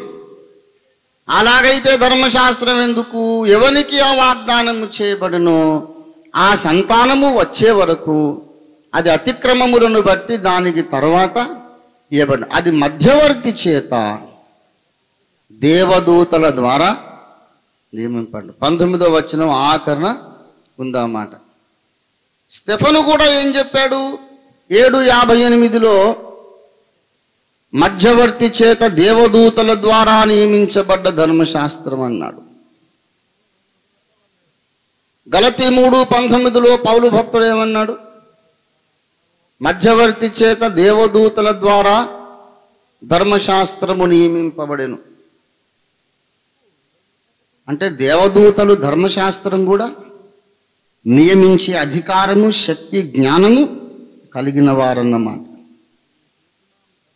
దేవ కుమారులు తేజోవాసులైన పరిశుద్ధులు. వాళ్ళందరూ మన ఇల్లు ఊడ్చి తుడిచి వంట చేసి పెట్టి తోటమాలి పని చేసే కేవలము నౌకర్లు అని మీరు అనుకుంటే పప్పులో కాలేసినట్టే. ఏంజలాలజీ అనేది పెద్ద శాస్త్రం. అదృశ్యులైనటువంటి దేవదూతలు మహిమగల దేవదూతలు ఎన్నో రకరకములుగా ఎన్నో వర్గములుగా ఉన్నారు. అందరికంటే మహోన్నతమైన దేవుని సింహాసనమును తాకుటకు కూడా శక్తి కలిగిన వారు కెరూబులు. వాళ్ళకున్నంత జ్ఞానం ఎవరికీ లేదు. వాళ్ళకంటే ఎక్కువ జ్ఞానము కలిగిన వాడు దేవుడు సృష్టికర్త మాత్రమే. కెరూబులకు ఎంత జ్ఞానం ఉన్నదో చెప్పడానికి ప్రకటన నాలుగవ అధ్యాయంలో చెప్పాడు. ప్రకటన నాలుగవ అధ్యాయం ఎనిమిదో వచనం. ఈ నాలుగు జీవులలో ప్రతి జీవికి ఆరేసి రెక్కలు ఉండెను. అవి చుట్టూను రెక్కల లోపటను కన్నులతో నిండి ఉన్నవి. కన్ను అనగా అర్థం ఏమిటంటే జ్ఞానేంద్రియములలో ప్రధానమైనది కన్ను. కన్నులు ప్రధానమైన జ్ఞానేంద్రియము. ప్రిలారా మిగతా ఇంద్రియాలు పనిచేసినా చేయకపోయినా కన్నులు పనిచేస్తే ఆ మనిషికి చాలా అడ్వాంటేజ్ ఉంటుంది. అన్నీ పని చేసినా కన్నులు పనిచేయకపోతే అది ప్రధానమైన ఆటంకము అవరోధంగా ఉంటుంది. గనుక కన్నులు జ్ఞానమునకు సూచన. వీళ్ళకేమో బోల్డ్ అని లోపల వెలుపల నిండా కళ్ళు ఉన్నాయి కానీ ఏసయ్యకు పాపం అన్ని కళ్ళు లేవు. ఏడే ఉన్నాయంట పాపం. ఏమండి? ప్రకటన గ్రంథము ప్రకటన ఐదవ అధ్యాయం ఆరో వచ్చిన ఆ గొర్రె పిల్లకు ఏడు కొమ్ములను ఏడు కన్నులను ఉండను. కెరూబులకు ఎన్ని కళ్ళు ఉన్నాయి లోపల వెలుపల నిండి. ఎన్ని కళ్ళు ఉంటే నిండిపోవాలి మొత్తం. వంద రెండు వందలు మూడు వందలు ఎన్ని ఉన్నాయో తెలియదు కానీ ఏసయ్యకు మాత్రం పాపం అన్ని లేవు. కాబట్టి కెరూపుల కంటే కాస్త తక్కువ జ్ఞానం ఉన్నది అనుకుందామా? అనుకోవడానికి వీలు లేదు. సంఖ్యను బట్టి చూస్తే ఏడు అనేది సంపూర్ణతకు చిహ్నము. కన్నులనగా జ్ఞానము ఏడు కన్నులనగా సంపూర్ణ జ్ఞానం అని అర్థం. యేసునాథునికున్న జ్ఞానం పరిపూర్ణమైనది. ఆయన సర్వజ్ఞాని అని అర్థం. దేవునికి స్తోత్రం కలుగునుగాక. కెరూబులకు లోపల వెలుపల ఎన్ని కన్నులున్నా ఎంత జ్ఞానం ఉన్నా వాళ్ళు సర్వజ్ఞులు మాత్రము కారు. కెరూబులు శరాఫులు సర్వజ్ఞులు కాదు అన్ని ఎరిగిన సర్వజ్ఞుడు యేసు ఒక్కడే. దేవునికి స్తోత్రం కలుగునుగాక. నీకంటే నాకంటే మామూలు దేవదూతకు చాలా జ్ఞానం ఉంది. వాళ్ళకంటే ప్రధాన దూతలకు చాలా జ్ఞానం ఉంది. వాళ్ళకన్నా శరాఫులకు జ్ఞానం ఉంది. శరాఫుల కంటే ఎక్కువ కెరూబులకు మహాజ్ఞానం ఉంది. సృష్టింపబడిన జ్ఞానములో అందరికంటే పరాకాష్ట స్థాయి కెరూబులదే. కానీ వాళ్ళకన్నా అనంత కోటి రెట్లు సర్వజ్ఞానము కలిగిన వాడు దేవుని కుమారుడు. మనకు శిరస్సయ్యున్న ఏసయ్య దేవునికి కన్నులు కలిగిన ప్రాణులలో అనగా జ్ఞానము కలిగిన ప్రాణులలో సృజింపబడిన వారిలో సర్వోత్కృష్టమైన స్థానము కెరూపులది ఆ కింద కొంతమంది ఉన్నారు వాళ్ళు దేవుని ఆలోచన సభ. ఈ ఆలోచన సభ మన అసెంబ్లీ సంవత్సరంలో కొన్ని రోజులు కూడుకుంటుంది అని నియమించినట్లు ఈ ఆలోచన సభ కూడుకోవడానికి కొన్ని దినాలు నియమించబడినవి ఒక స్థలము నియమించబడింది. ఆలోచన సభ కూడుకునే స్థలం పేరు సభా పర్వతము అక్కడ వాళ్ళు శాసనాలు చేస్తూ ఉంటారు. ఎవరి కోసం అంటే దేవుడు సృజించిన లెక్కలేనన్ని లోకాల కోసం. దేవుడు ఒక లోకమునే చెయ్యలేదు వాక్యం అర్థం కావాలంటే కొంచెము ఇంగిత జ్ఞానము కూడా ఉపయోగించాలి. దయచేసి గమనించాలి వాక్యం అర్థం కావాలంటే ఇంగిత జ్ఞానము కూడా ఉపయోగించాలి. ఎందుకు? ఇంగితం ఉపయోగించమని బైబిల్లో ఎక్కడ ఉందండి? అంటే అది ఉంది. బైబిల్లో రాసి ఉన్నది అని నిర్ధారణ నాకు లేకపోతే తుమ్ము కూడా తుమ్మను నేను. తుమ్ము వచ్చినా సరే ముక్కు ఊడిపోయిన దాకా అలాగ పిండుకొని ఉంటా కానీ తుమ్మనే తుమ్మను. బైబిల్ ఆధారం ఉంది అని నాకు నమ్మకం కలగాలి. కామన్ సెన్స్ ఇంగిత జ్ఞానం కూడా ఉపయోగించాలి. లేకపోతే బైబిల్ అర్థం కాదు. మొదటి కొరింతి పత్రిక పదకొండవ అధ్యాయము పదమూడవ వచనం. మీలే మీలో మీరే మీలో మీరే యోచించుకొనుడి. స్త్రీ ముసుగు లేనిదై స్త్రీ ప్రార్థించుట తగున మీరు యోచించుకొనుడి. పద్నాలుగో వచనం. పురుషుడు తల వెండ్రుకలు పెంచుకొనుట స్వభావ సిద్ధముగా మీకు తోచును కదా అట అంటే అదే ఇంగితం మరి. కామన్ సెన్స్ అంటే అది న్యాచురల్గానే మీకు అనిపిస్తుంది కదా అంటాడు రెండవ తిమోతి రెండవ అధ్యాయం ఏడవ వచనం. నేను చెప్పు మాటలు యోచించుకొనుము ఆలోచించుకొనుము. అన్ని విషయములు ఎందు ప్రభు నీకు వివేకము అనుగ్రహించును. ఆలోచించండి కాస్త బుర్ర ఉపయోగించండి అంటున్నాడు అపోస్తరుడు మీకేమి తోచుచున్నది? అన్నాడు ఏసయ్య కూడా అనలేదు. ఎన్నోసార్లు మీకేమితో అంటే తోచడం కూడా ముఖ్యమే. బుర్రకాయ ఉపయోగించాలండి. మీరు ఆలోచించండి.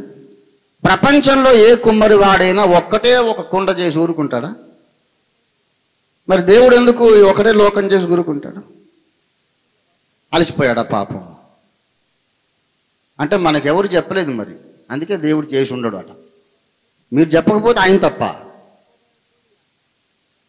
ప్రియులారా ఎవడైనా ఇంటి ముందు ఒకటే కుండ చేసుకొని కూర్చున్నాడు అనుకోండి.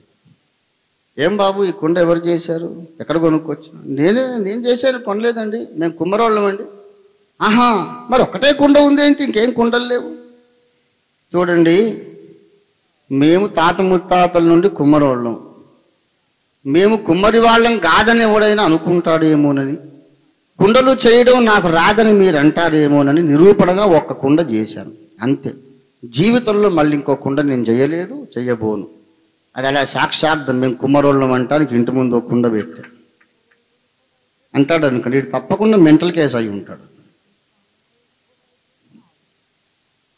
ఏ కుమ్మరి వాడైనా ఒక కుండ చేస్తాడా? లెక్కలేనన్ని కుండలు చేస్తాడు. ఊరుకోడు వాడి ప్రవృత్తి వాడిని ఆగనివ్వదు. ఒకకుండా రెండో కుండా ఒకటి చిన్నది ఒకటి పెద్దది. రకరకాల ఆకారాలు రకరకాల సైజులు ఎన్నెన్నో రకాల పాత్రలు చేస్తారు. ఏ శిల్పకారుడు కూడా ఒకటే శిల్పాన్ని చెక్కి ఊరుకోడు. ఏ చిత్రకారుడు కూడా ఒకటే పెయింటింగ్ గీసి ఊరుకోడు. అలాగే సృష్టికర్త అయిన దేవుడు కూడా ఒకటే లోకాన్ని చేసి ఊరుకోలేదు. కుమ్మరివాడు కుండలు చేస్తూనే ఉంటాడు లెక్కలేనన్ని కుండలు. చిత్రకారుడు లెక్కలేనన్ని బొమ్మలు గీస్తూనే ఉంటాడు. కంసాలివాడు లెక్కలేనన్ని ఆభరణాలు తయారు చేస్తూనే ఉంటాడు. అట్లాగే దేవుడు లెక్కలేనన్ని ప్రపంచాలు నిర్మించాడు అని బైబిలే చెప్పింది. హెబ్రీ పత్రిక మొదటి అధ్యాయము రెండవ వచనం. హెబ్రీ పత్రిక మొదటి అధ్యాయం రెండవ వచనం. ఆ ఆయన తన కుమారుని ద్వారా మనతో మాట్లాడెను. ఆయన కుమారుని ద్వారా దేవునికి స్తుతి మహిమ కలుగునుగాక ఆయన ఆ కుమారుని ద్వారా ప్రపంచములను ప్రపంచమును అనుందా? లను ప్రపంచమును అనుందా? ప్రపంచములను అనుందా? ప్రపంచములను ప్రపంచములను నిర్మించు దేవునికి స్తోత్రం కలుగును గాక. హల్లెలూయా! అలాగే హెబ్రీ పత్రిక పదకొండవ అధ్యాయము మూడవ వచనంలో కూడా ప్రపంచములు దేవుని వాక్యము వలన నిర్మాణమైనవని. ప్రపంచములు దేవుడు తన కుమారుని ద్వారా లెక్కలేనన్ని ప్రపంచాలు నిర్మించాడు. అన్ని ప్రపంచములకు ఒక్కొక్క ప్రపంచానికి ఒక్కొక్క రకమైన చట్టం అవసరము. ఒక్కో ప్రపంచానికి ఒక్కో రకమైన ధర్మశాస్త్రం అవసరము. అక్కడ పరిస్థితులు వేరు అక్కడ దేవుని ప్రణాళికలు వేరు. వాళ్ళు నడుచుకోవలసిన విధానము వేరు. ఏది చట్టము ఏది చట్ట ప్రకారం ఏది చట్ట విరుద్ధము ఏది న్యాయము నడవాల్సిన మార్గం ఏది అన్ని విషయాలలో శాసనములు నిర్మించే శాసన మండలి ఒకటి ఉంది ఆలోచన సభ. వాళ్ళు కూడా దేవుని కుమారులు తేజోవాసులైన పరిశుద్ధులు.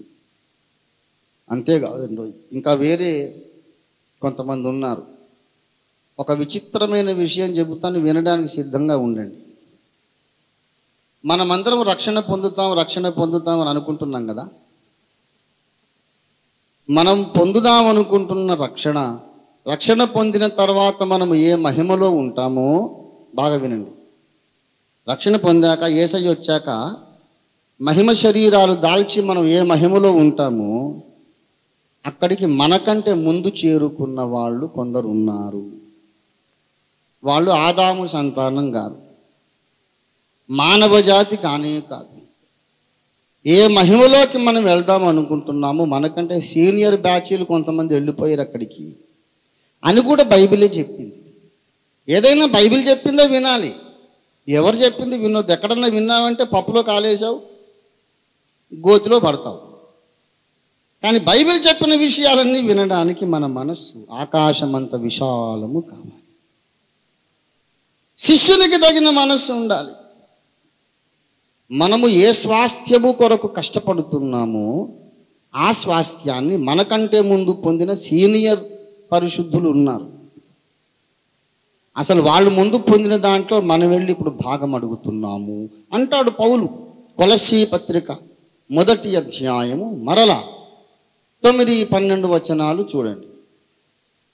ఆనందముతో కూడిన పూర్ణమైన ఓర్పును దీర్ఘశాంతమును కనపరుచినట్లు అక్కడి నుంచి చదువుతున్నాను ఆయన మహిమ శక్తిని బట్టి సంపూర్ణ బలముతో బలపరచబడవలెననియు తేజోవాసులైన పరిశుద్ధుల స్వాస్థ్యములో పాలివారమగుటకు మనలను పాత్రులుగా చేసిన. ఏమండి?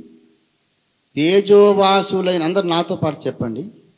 తేజోవాసులైన పరిశుద్ధుల స్వాస్థ్యములో పాలివారమగుటకు మనలను పాత్రులుగా చేసిన తండ్రి. దేవుడు మనల్ని ఏం చేశాట పాత్రులుగా యోగ్యులుగా చేశాడు. దేనికి యోగ్యులుగా చేశాడు? తేజోవాసులైన పరిశుద్ధుల స్వాస్థ్యములో మనం పోయి ఇప్పుడు ఇదివరకే తేజోలోకమున్నది అక్కడ ఉన్న పరిశుద్ధులు ఉన్నారు వాళ్ళు కొంత స్వాస్థ్యం పొందారు. ఏ స్వాస్థ్యమును పొందారో అందులో మనం ఇప్పుడు వెళ్ళి పాలివారం అవుతున్నాము. మరి వాళ్ళెక్కడోళ్ళు వాళ్ళ చరిత్ర ఏంటో మనకు తెలియదు. ఎన్నో యుగాలు గడిచిపోయినవి. ఈ భూమి ఒక నాటక రంగము వంటిది. ఒక నాటక రంగము మీద ఎన్నో నాటకాలు ప్రదర్శిస్తారు. కామెడీ నాటిక విషాదాంతము సుఖాంతము హాస్య నాటికలు. కొంతమంది పాత్రలు అంత రంగులు వేసుకొని అంత కట్టి ఆ సజీవంగా పాత్రల్ని పోషించి మన కళ్ళ ముందు ఒక డ్రామా వేసి మనల్ని ఏడిపిస్తాడు. వాడు మూటముళ్ళు సర్దు వెళ్ళిపోతాడు. ఇంకోటి వచ్చి హాస్య నాటికేసి నవ్విస్తాడు. వాడు వెళ్ళిపోతాడు. ఇంకొక వాడు వచ్చి విషాదాంతము సుఖాంతము. ఆ వేదిక అక్కడే ఉంటుంది. ఈ డ్రామా ట్రూపులు వెళ్ళిపోతూ ఉంటాయి. అలాగే ఈ భూమి ఒక డ్రామా స్టేజ్ లాంటిది. దేవుడు ఒక జాతిని సృష్టించాడు ఒక నాటకం ఆడించాడు ఆ జాతి కాలగర్భంలోకి వెళ్ళిపోయింది. కాలగర్భంలోకి వెళ్ళిపోయిందనే మాట జ్ఞాపకం పెట్టుకోండి. కాలగర్భం అంటే ఏంటో తెలుసా? యేసు గర్భం అని అర్థం. మళ్ళీ అదొక పెద్ద సబ్జెక్టు. ఇప్పుడు చెప్తే మీరు నన్ను కొడతారు.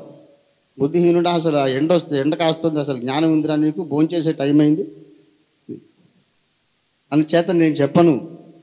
కాబట్టి దేవునికి స్తోత్రం చెప్పాను. అల్లేలుయా ఎంత మంచోళ్ళో చూడండి.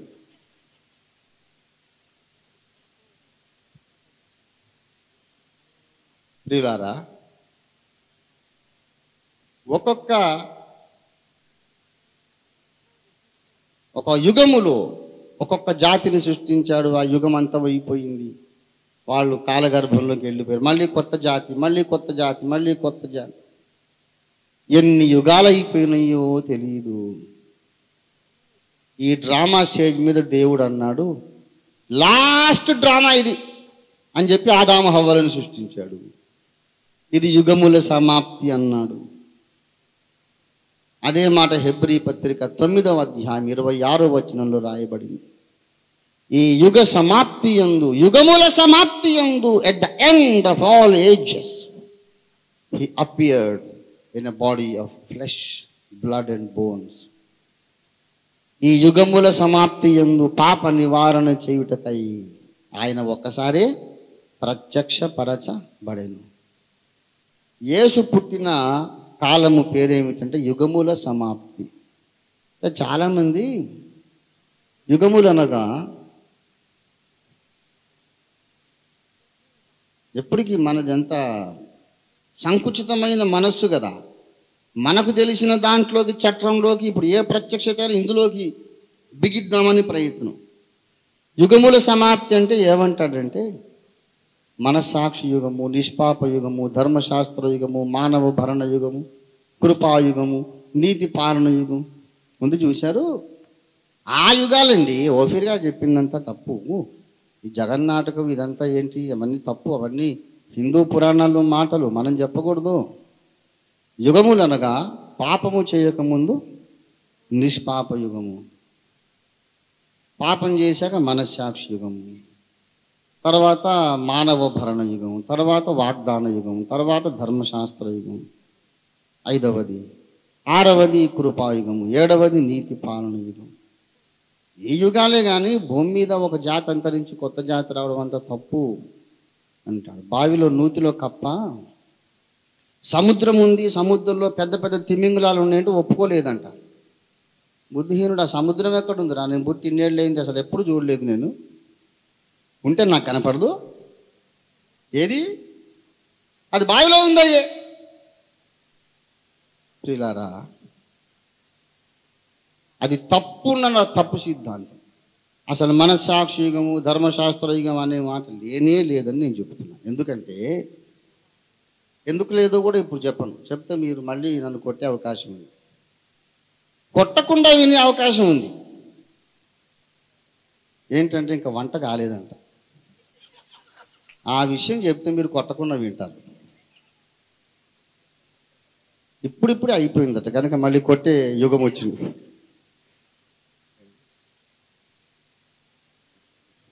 మంచిది. ప్రిలారా దేవుని వాక్యములోని సత్యాన్ని గ్రహించాలంటే చాలా విశాల హృదయం కావాలి.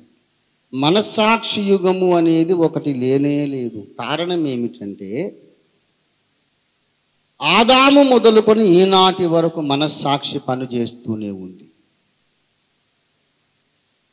నీవు దిగంబరివని నీకు తెలిపిన వాడెవడు అన్నాడు దేవుడు.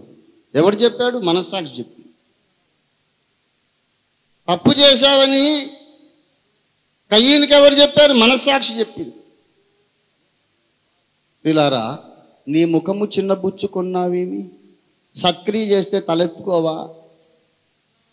కయ్యూను ముఖము చిన్నబుచ్చుకున్నాడు వాడికి తెలుసు మనస్సాక్షి అనేది ఆదాము కాలము మొదలుకుని ఆదాము హవలు పండు తిన్నప్పుడు మీరు తప్పు చేశారర్రా అని చెప్పింది మనస్సాక్షి. ఈనాటికే మనస్సాక్షి ఇది కృపాయుగం అంటున్నారు. అంటే మనస్సాక్షి పనిచేయట్లేదా? ఈ కృపాయుగంలో మనస్సాక్షి ఇంకా పనిచేస్తుంది. మనస్సాక్షి యుగం అని మీరు చెప్పిన దాంట్లో కూడా కృప పనిచేసింది. అందుకే మీరు నిశ్చయముగా చత్తురు అని చెప్పినటువంటి మాట నెరవేర్చకుండా దేవుడు ఆదాము హవ్వల్ని బ్రతకనిచ్చాడు. వాళ్ళకు బదులుగా రెండు జంతువుల్ని బలిచ్చాడు. ఇంకా తొమ్మిది వందలేళ్ళు బ్రతికించి వాళ్ళ ద్వారా వేల మంది సంతానాన్ని భూమి మీద నింపాడు. దావీదు బ్రతికింది ఏం కాలము? ధర్మశాస్త్ర కాలం కానీ దావీదు పాపము చేసినప్పుడు పాట రాశాడు. దేవా నీ కృప చొప్పున. మరి కృప ఎక్కడప్పుడు ధర్మశాస్త్రీయం కదా. యహోవా కృప నిరంతరం ఉండును కృప నిరంతరం ఉండును. నూట పదిహేడో కీర్తనలోనేమో యహోవా కృప మన ఎడల అధికముగా ఉన్నది.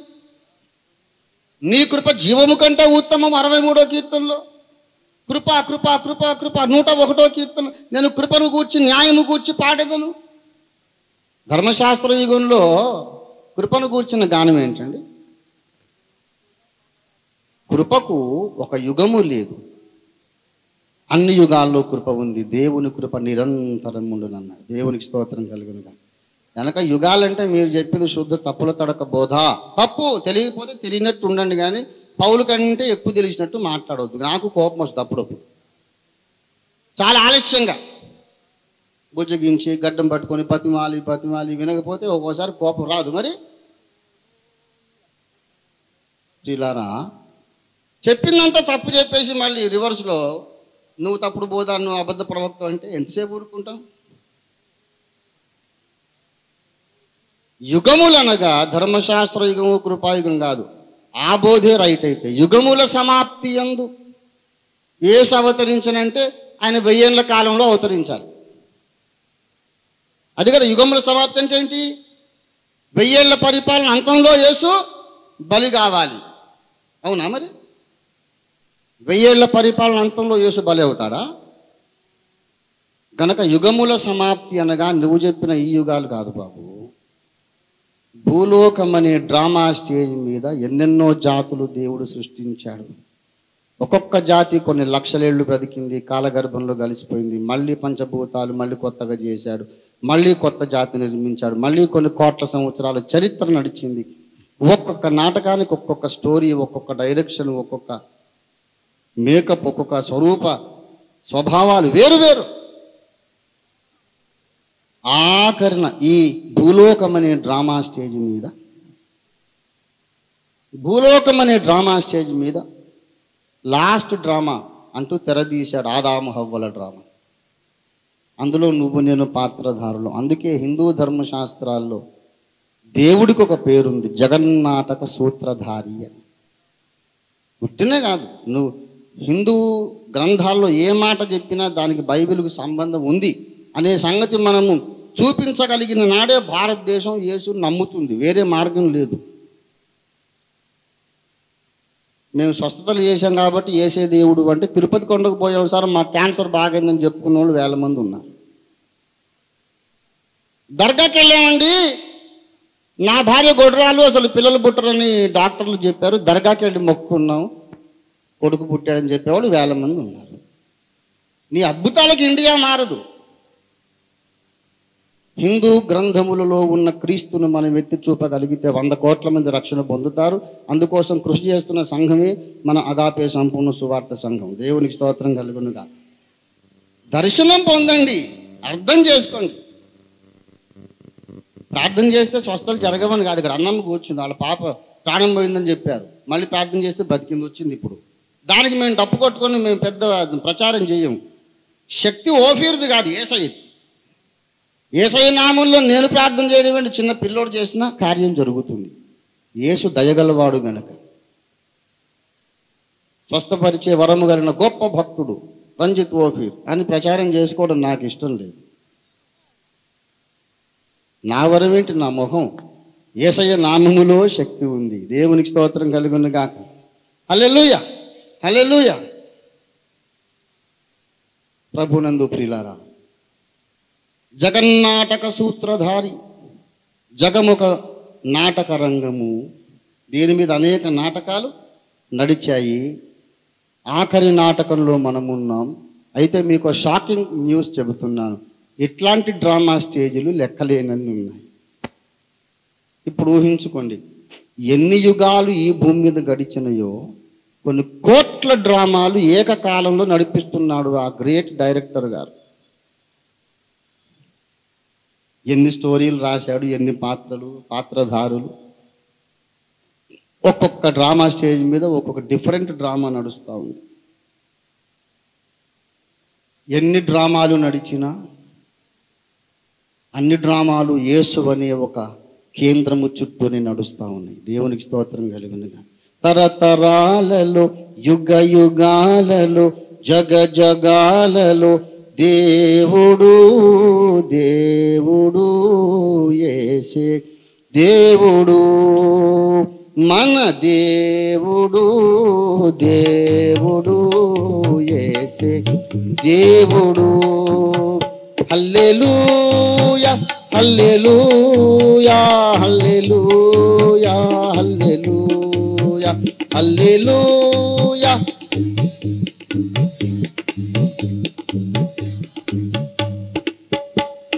ప్రభునందోపురిలారా అనేక యుగముల మీద అనేక జగముల మీద అనేక నాటకాలు జరుగుతూ ఉండగా అన్ని యుగములలో అన్ని జగములలో అన్ని వేదికల మీద ఉన్న సకల జగన్నాటకములకు అవసరమైన ధర్మశాస్త్ర రచన చేయడానికి శ్రేష్టమైన జ్ఞానము కలిగిన వ్యక్తులను దేవుడు నియమించాడు.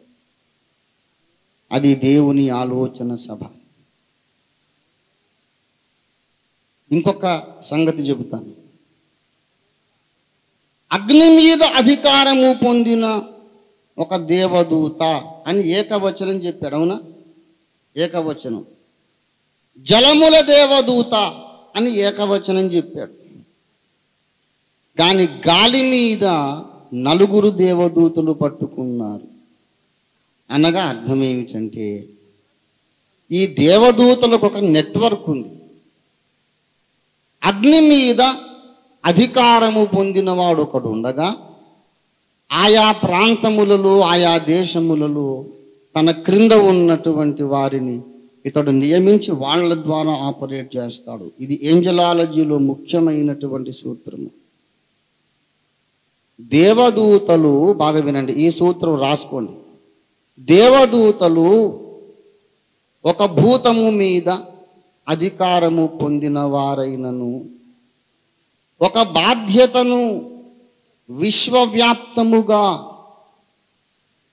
నిర్వహించవలసిన వారైనను. మళ్ళీ చెప్తాను. దేవదూతలు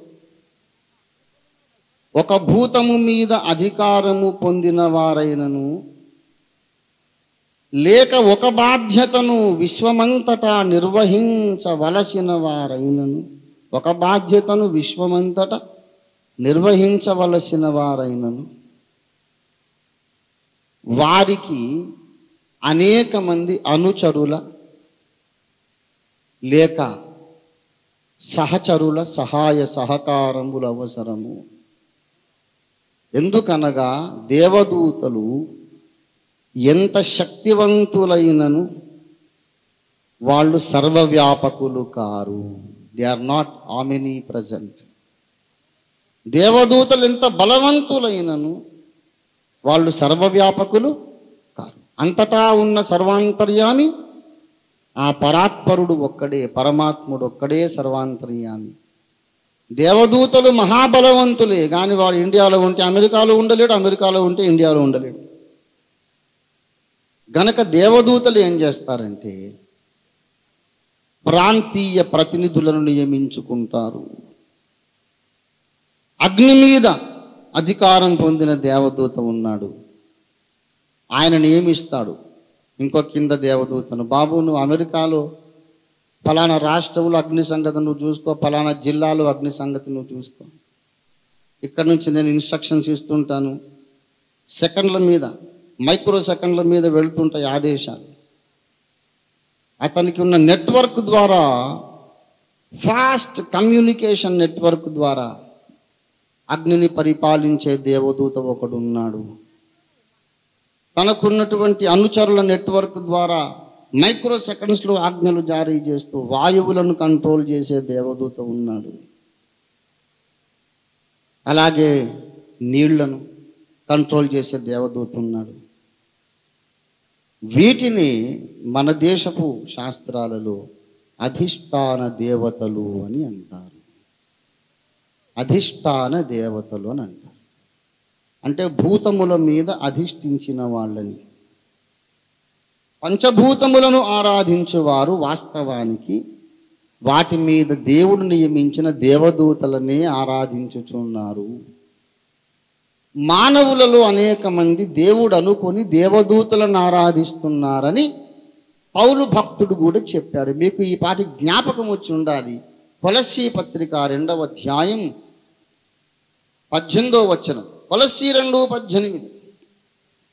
అతి వినయాసక్తుడై దేవదూత ఆరాధన ఎందు ఇచ్చగలిగి కొంతమంది అట దేవదూతారాధనకు అలవాటైపోయారట. ఎవరు వాళ్ళు చెప్పండి? దేవదూతలను ఎందుకు ఆరాధిస్తున్నారంటే వాళ్ళు దేవుడు అనుకొని భ్రమపడుతున్నారు. దేవదూతలను ఎందుకు దేవుడు అనుకుంటున్నారంటే పంచభూతముల మీద అధిష్ఠించినటువంటి దేవదూతలని దేవుడుగా భ్రమపడుతున్నారు. పంచభూతములు దేవునికి ప్రతీకలు దేవునికి దృష్టాంతములు దేవుడు గాలి వలె సర్వాంతర్యామి దేవుడు అగ్ని వలె పరిశుద్ధుడు దేవుడు వర్షము వలె ప్రాణాధారము దేవుడు సూర్యుని వలె ప్రాణాధారం అని దేవుడు ప్రతీకాత్మకంగా చెబుతూ ఉంటే వీళ్ళకి అర్థం కాక తలకిందులు కాళ్ళ మీదులు పెట్టేసి గాలే దేవుడు నీళ్ళే దేవుడు అన్నమే దేవుడు సూర్యుడే దేవుడు అగ్నే దేవుడు నదులే దేవతలు. ఇవన్నీ ఉదాహరణలు దేవుడు చెప్పాడు. వాళ్ళు ఆ దేవదూతలను అధిష్ఠించినటువంటి శక్తులను ఆరాధించుచున్నారు వాస్తవానికి. పంచభూతముల మీద అధిష్టాన దేవతలని మీరు చెప్పుకుంటున్న వాళ్ళు కూడా ఏసయ్య నియమించిన సేవకులే అని బైబిల్ చెబుతుంది. దేవుని స్తోత్రం కలుగును ఇలాగా పంచభూతముల మీద అధిష్టాన దేవదూత ఒకడు ఉండగా అతడి కింద ఆయా ప్రాంతములలో అతని ప్రతినిధులు ఉన్నారు. అలాగ కంట్రోల్ చేస్తున్నాడు ప్రకృతిని. ఇకపోతే ఇంకొక రకమైనటువంటి దేవదూతలు ఉన్నారు. దేవదూతలు they are very essential media of communication between God and men దేవదూతలు దేవునికి నరునికి మధ్యలో సమాచారము చేరవేసి సాధనములు సమాచార సాధనములు మీడియా ఆఫ్ కమ్యూనికేషన్ ఎందుకో చెబుతున్నా. బాగా వినండి. బాగా వినండి. మనం మోకరించాము. ప్రార్థన చేస్తున్నాము. దేవా నాకు ఫలానా సహాయం కావాలి. ఫలానా ఆశీర్వాదం కావాలి. ఫలానా పరిష్కారం సమస్యకు పరిష్కారం కావాలని అడుగుతున్నాం. అక్కడ నుండి దేవుడు మాట్లాడినా ఇక్కడ నుంచి మనం మాట్లాడినా మెంటల్ ఫ్రీక్వెన్సీ మానసిక తరంగాలు పోతూ ఉన్నాయి. తలంపులు మానసిక తరంగాలు పోతూ ఉన్నాయి. పోతూ ఉండగా ఆకాశ మండలములో ఎవరున్నారు చెప్పండి? సాతాను. వాడి పేరే వాయుమండల సంబంధమైన అధిపతి. ఎఫ్ఎస్సి పత్రిక రెండవ అధ్యాయం రెండవ వచనం. వాడి పేరే వాయుమండలాధిపతి. ఈ వాయుమండలాధిపతి వాడు ఆకాశ మండలములో సంచరించుచున్న దురాత్మల సమూహం ఒకటి ఉన్నది దానికి అధిపతి వాడు. వాడు ఏం చేస్తాడంటే ఈ సిగ్నల్స్ అక్కడికి చేరకుండా జామ్ చేస్తాడు. బాగా వినండి. హైదరాబాదులో ట్యాంక్ బండ్ అనేది ఒకటి మీరు విన్నారో లేదు. హుసేన్ సాగర్ అనేది తెలియని వాళ్ళకు కూడా తెలిసిపోయింది. ఎప్పుడు తెలిసిపోయిందంటే వినాయక నిమజ్జనం లాగా బుద్ధ నిమజ్జనం జరిగినప్పుడు అప్పుడు ప్రపంచ ప్రఖ్యాతిగాంచింది ఆ హుసేన్ సాగర్ అనే తటాకము. తటాకం అంటే చెరువు ఇంకేం కాదు. ప్రియులారా ఆ హుసేన్ సాగర్ జగద్విఖ్యాతిగాంచింది ఎప్పుడంటే అందులో బుద్ధుని నిమజ్జనం చేశారు. మళ్ళీ రెండు కోట్లు ఖర్చు పెట్టి మళ్ళీ పైకి తీశారు అనుకోండి ఈ వ్యవహారానికంతా ఓ ఒక సంవత్సరం పైగా పట్టింది. అందుకని ప్రభుత్వం వాళ్ళు ఏం చేశారంటే ఆ ట్యాంక్ బండ్ మీద ఎలాంటి టెలికమ్యూనికేషన్ సిగ్నల్స్ పనిచేయకుండా జామర్స్ పెట్టారు. మనం సెల్ ఫోన్ మాట్లాడుకుంటూ మాట్లాడుకుంటూ ఆటోలో పోతున్నాం. సరిగ్గా ట్యాంక్ బండ్ ఎక్కేసరికి ఇది ఆఫ్ అయిపోతుంది. Info section check info department ఏదో అని వస్తూ ఉంటుంది. ఆ ట్యాంక్ బండ్ మీదకి వెళ్ళగానే సిగ్నల్స్ పనిచేయవు ఎందుకంటే మొబైల్ ఫోన్ సిగ్నల్స్ ద్వారా బాంబులు పేల్చే టెక్నాలజీ ఉగ్రవాదులు కనిపెట్టారు. అక్కడ కనుక సెల్ ఫోన్స్ పనిచేయడం అలౌ చేస్తే అనుమతిస్తే ఉగ్రవాదులకు చేతి నిండా హైదరాబాద్ నగరాన్ని అప్పగించినట్టే.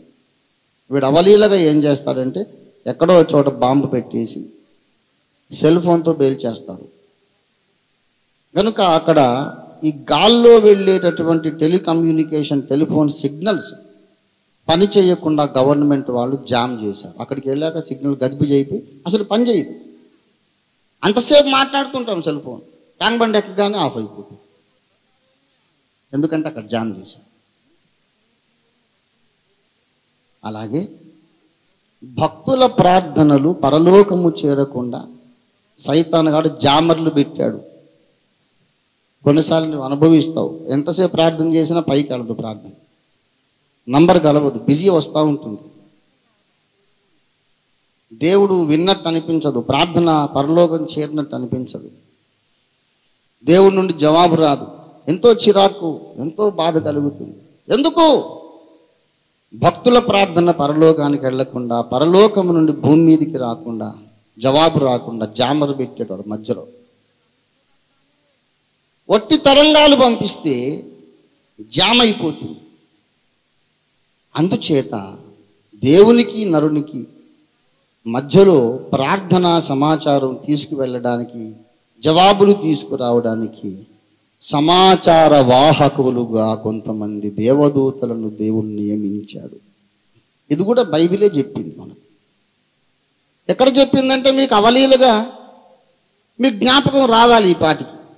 దానియలు ప్రవక్త సంగతి మీకు తెలుసుగా? తెలిసిన సంగతులన్నీ మళ్ళీ అమర్చుకోవటమే. మనం కొత్త వచనాలు ఎక్కడ తీసుకొస్తాం? అన్ని పాత వచనాలు తెలిసిన పాత వచనాలు ఒక ప్రత్యేక ప్యాటర్న్లో మళ్ళీ అరేంజ్ చేసుకోగానే కొత్త ప్రత్యక్షతలు వస్తూ ఉంటాయి.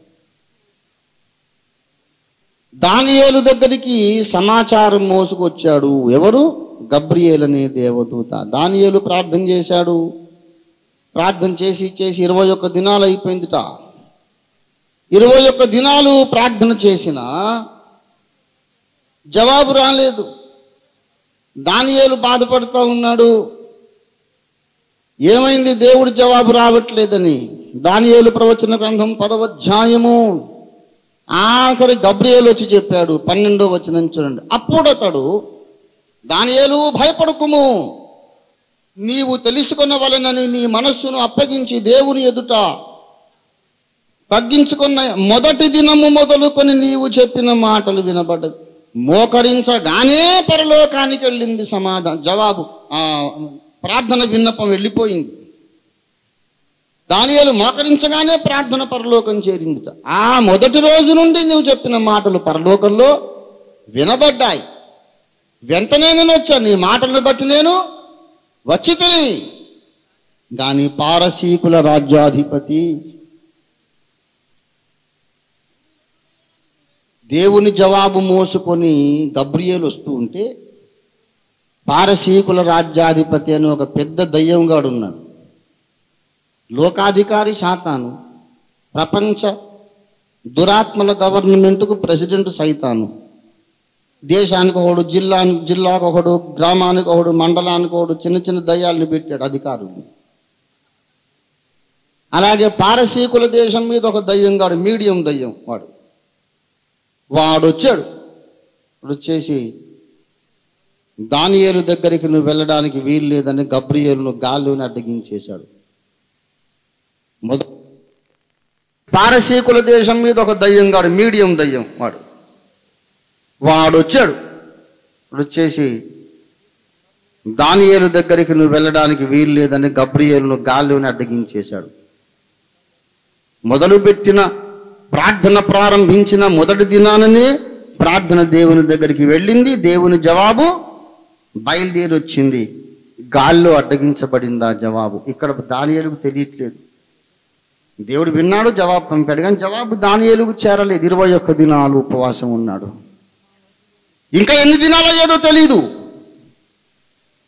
అప్పుడు ఒక తెలివైన నిర్ణయం తీసుకున్నాడు గబ్రియలు. ఈ దుష్ట రాజ్యాధిపతి అంధకార రాజ్యాధిపతి పారసీకుల రాజ్యాధిపతి నన్ను అడ్డగిస్తున్నాడు. దేవుని దాసుడేమో అక్కడ నలిగిపోతున్నాడు ప్రార్థనలో. ఇలాగైతే కష్టం అని చెప్పి వెంటనే సిగ్నల్ కొట్టాడు. టెలికమ్యూనికేషన్. మికాయేలు ఒకసారి రావయ్యా. వీడి సంగతి చూసుకొని నేను వెళ్ళి నా జాబ్ నా పని చక్కబెట్టుకొని వస్తాను. అనేసరికి మికాయలు వచ్చాడు. ఈ పారసీకుల రాజ్యాధిపతితో మికాయిలు యుద్ధం మొదలు పెట్టేసరికి ఆ సందట్లో తప్పించుకొని గబ్రియలు భూమి మీదకి వచ్చి దేవుని సందేశం దానియేలుకు అందించాడు. అందించేసి మళ్ళీ వెళుతుండగా వాడు ఏం తక్కువ తినలేదు. మికాయేలు వచ్చాడు ఇప్పుడు గబ్రియలు వచ్చాడు. దేవుని వైపు ఇద్దరు అవుతారు సైతాన్ వైపు ఒక్కడవుతాడు. అందుచేత ఇద్దరిని ఒక్కడిని ఎదుర్కోలేను గనుక నేను ఒక్కడిని మిఖాయిలు గబ్రియలు ఇద్దరిని జయించలేను గనుక గ్రేకేయుల రాజ్యాధిపతిని కూడా నేను పిలుస్తాను అనుకున్నాడు వాడు. ఆ సంగతి కూడా గబ్రియలకు తెలిసిపోయింది. నేను బయలుదేరుచుండగా నన్ను ఎదుర్కోవడానికి గ్రేకేయుల అధిపతి వచ్చాను. ఇలాగా అంధకార రాజ్యాధిపతి అయినటువంటి సాతాను దేవుని జవాబు భూమి మీదికి రాకుండా మధ్యలో కొంతమంది దుష్ట దూతలను పడిపోయిన దేవదూతలను అడ్డగించడానికి నియమించాడు. ఇక్కడ ఒక ప్రశ్న. మీకు పుట్టాలి. మీలో చాలామందికి ప్రశ్న పుట్టే ఉంటుంది. దేవుడు పరిశుద్ధాత్మ ద్వారా దానియేరుతో మాట్లాడొచ్చు కదా?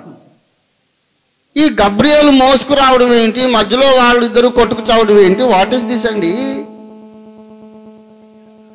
ఆ దేవుడు సర్వశక్తిమంతుడు సర్వవ్యాపకుడు.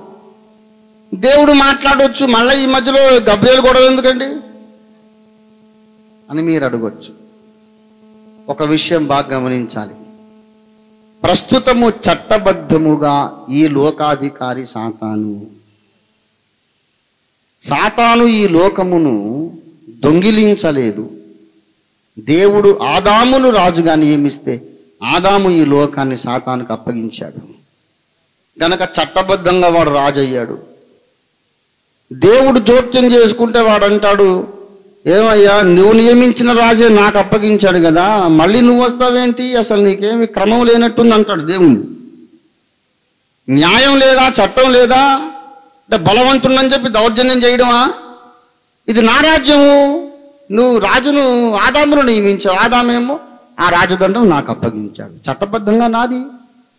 లోకాధికారి నువ్వే చెప్పావుగా యోహాను పద్నాలుగు ముప్పైలో. ఈ లోకాధికారి వచ్చిచున్నాడు. నేను లోకాధికారిని అయితే మరి నీ జోక్యం ఏంటి?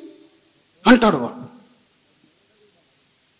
గనుక దేవుడు ఏమన్నాడంటే నేను లోక వ్యవహారములో జోక్యం చేసుకోవాలంటే నన్ను ఆహ్వానించే వాళ్ళు కొందరు భూలోకంలోనే పౌరులు ఉండాలి ఎందుకయ్యా దేవుడా నా రాజ్యంలోకి వచ్చి అనవసరంగా వేలు పెడుతున్నావు అని అడిగితే నీ రాజ్య పౌరులే కొందరు నన్ను పిలిచారయ్యా అంటాడు దేవుడు. అందుకు ప్రార్థనని ఏర్పాటు చేశాడు. ఈ ప్రార్థనని ఏర్పాటు చేస్తుంటే వీడేం చేస్తున్నాడు? సిగ్నల్ జామ్ చేస్తున్నాడు. సిగ్నల్స్ పరలోకానికి వెళ్ళకుండా భూమి మీదకి రాకుండా జామ్ చేస్తూ ఉన్నాడు. మామూలుగా సిగ్నల్ వెళితే వాడు జామర్ మెషిన్ పెట్టాడు కాబట్టి దేవుడు ఇంకొక కౌంటర్ వ్యూహం పన్నాడు ఏమిటంటే దేవుడు చెప్పాలనుకున్న సందేశం ఒక దేవదూత బుర్రకాయలో నింపుతాడు.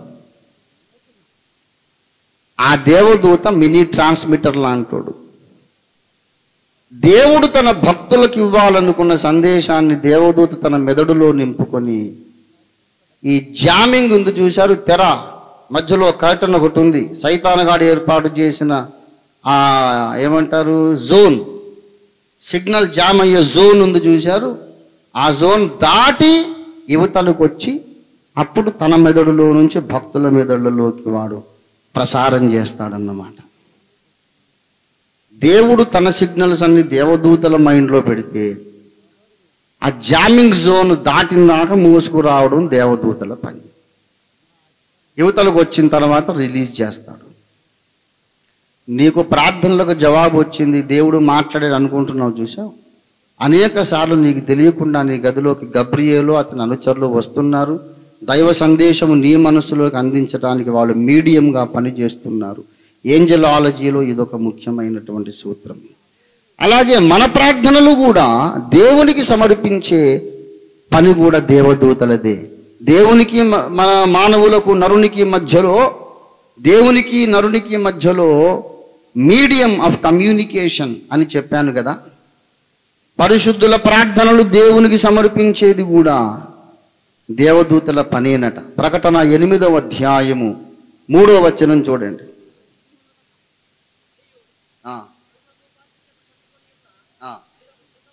సువర్ణ ధూపార్తి చేత పట్టుకొని ఉన్న వేరొక దూత వచ్చి బలిపీఠం ఎదుట నిలువగా సింహాసనం ఎదుట ఉన్న సువర్ణ బలిపీఠము పైన పరిశుద్ధులందరి ఆ, అతనికి బహుధూప ద్రవ్యములు ఇవ్వబడెను. అప్పుడు ఆ ధూప ద్రవ్యముల పొగ పరిశుద్ధుల ప్రార్థనలతో కలిసి దూత చేతిలో నుండి పైకి లేచి దేవుని సన్నిధి ఏమండి? పరిశుద్ధుల ప్రార్థనలన్నీ ముందు ఎక్కడికి వెళ్ళాయి ఈ దేవదూత చేతిలోకి వెళ్ళాయి ఇక్కడి నుంచి దేవుని సన్నిధికి చేరాయి కనుక ప్రార్థనలను అటు చేరవేసిన అక్కడి నుంచి ఇటు చేరవేసిన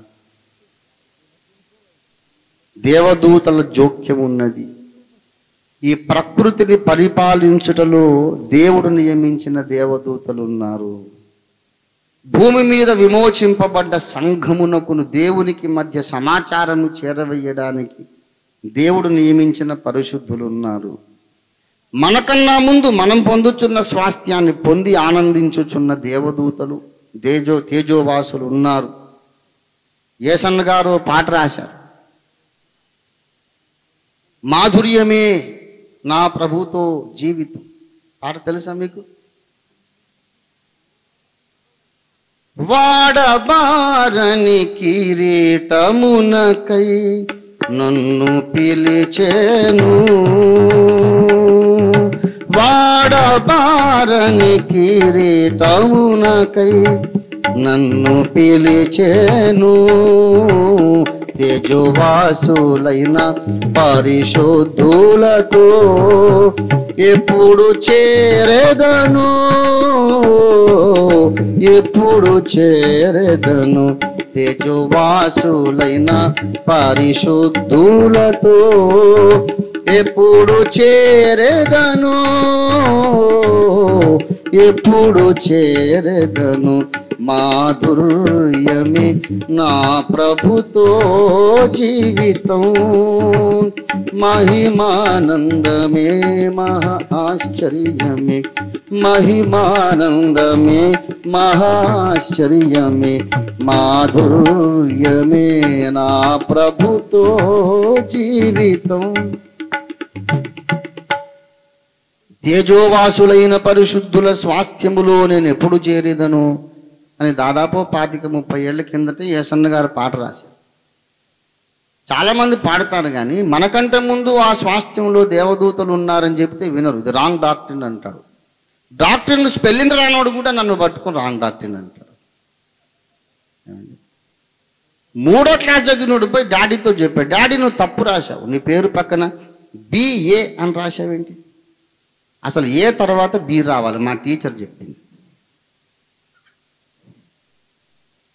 ఏ తర్వాత బి రాయి డాడీ? బి తర్వాత ఏ రాసేవేంటి అంటాడు వీడు? రే ఏ తర్వాత బి ఆ చదువు వేరు బి తర్వాత ఈ ఈ చదువు వేరు రా బాబు. నేను గ్రాడ్యుయేట్ని పట్టభద్రుణ్ణి బ్యాచులర్ అదంతా కాదు బ్యాచులర్ లేదు ఆర్ట్స్ లేదు ఏమి లేదు. నీకు సరిగ్గా చదువు వచ్చిందని నేను ఒప్పుకోవాలంటే ముందు ఏబి రాయి నాట్ బిఏ ఆ మూడో క్లాస్ వాడిని ఈ గ్రాడ్యుయేట్ కన్విన్స్ చేయలేడు. ఒక్కోసారి చాలా జ్ఞానవంతుడితో కూడా మనం వాదం గెలవలేము ఒక్కోసారి తెలివి తక్కువతో కూడా వాదం గెలవలేము. వాడు చెప్పిందే చెప్తుంటాడు విన అరిగిపోయిన రికార్డు లాగా అసలు అర్థం చేసుకోడు. అలాంటి మూక ఉన్నారు కొంతమంది వాళ్ళు రాజ్యం వెళ్తున్నారు. సత్యం తెలీదు చెబితే వినరు నువ్వే తప్పు అంటాడు. వీళ్ళందరినీ సరిగ్గా దారికి తేవడానికి అబద్ధ క్రీస్తు వస్తారు బాధటం మొదలు పెడితే అందరూ చగాపే సంఘంలో చేరుతారు. దేవునికి స్తోత్రం. అప్పుడు తెలుస్తుంది అరే ఆయనే కరెక్ట్ రా అప్పటిదాకా తెలియదు అందుకే వాడు ఎప్పుడు వస్తాడని ఎదురు చూస్తున్నాను. నేను తొందరపడను. వాడు వచ్చి బాధటం మొదలు పెట్టాడు అనుకోండి. రెండే దారులు. వెళ్ళిపోయి మహాబాబులోని వేషులోనన్నా చేరాలి నూతన ఋషులేం సంఘంలోనన్నా చేరాలి. ఆ నూతన ఎరుసలేం సంఘంలో అందరికంటే ముందు సీనియర్ మెంబర్లు మనమే. దేవుని స్తోత్రం కలిగినగా అల్లెలుయ ప్రిలారా సత్యము నేర్చుకోవాలి. దేవుని దూతలు అని చెప్పబడిన మహిమగల వ్యక్తులలో ఎన్నో రకములున్నారు. ఈనాడు మనమందరం ఈనాడు సంతోషంగా ఆరోగ్యంగా జీవిస్తూ ఉన్నామంటే కనిపించకుండా మన ప్రక్కనే దేవుని చేత నియమించబడి అనుక్షణము సహాయపడుతున్న దేవదూతలు ఎందరో ఉన్నారు. అయితే మరి యేసునందుకు ఆరాధించాలి దేవదూతలు మన జీవితంలో జోక్యం చేసుకున్నను మన ఆరాధనకు పాత్రుడు వేసే ఎందుకో చెప్పి ముగించేస్తాను. లేకపోతే నేను మీకు అన్యాయం చేసినట్టు అవుతుంది. సకల జగములకు శాసనములను నిర్మాణము చేయడానికి జ్ఞానవంతులైన ఆలోచన సభా సభ్యులు ఉన్నప్పటికీ వాళ్ళకందరికీ ఆలోచన చెప్పడానికి దేవుని కుమారుడు వారి ప్రక్కన ఉండి పనిచేస్తున్నాడు అందుకే వీళ్ళందరేమో ఆలోచన సభ. ఏసయ్య పేరు ఆలోచన కర్త. దేవునికి స్తోత్రం కలుగును గాక. వీళ్ళందరూ మహాజ్ఞానులు. కానీ ఏసయ్య జ్ఞానమై ఉన్నాడు దేవునికి స్తోత్రం కలుగును గాక. హల్లెలూయ. అలాగే మనలను కాపాడడానికి నియమించబడ్డ బలవంతులు ఉన్నారు.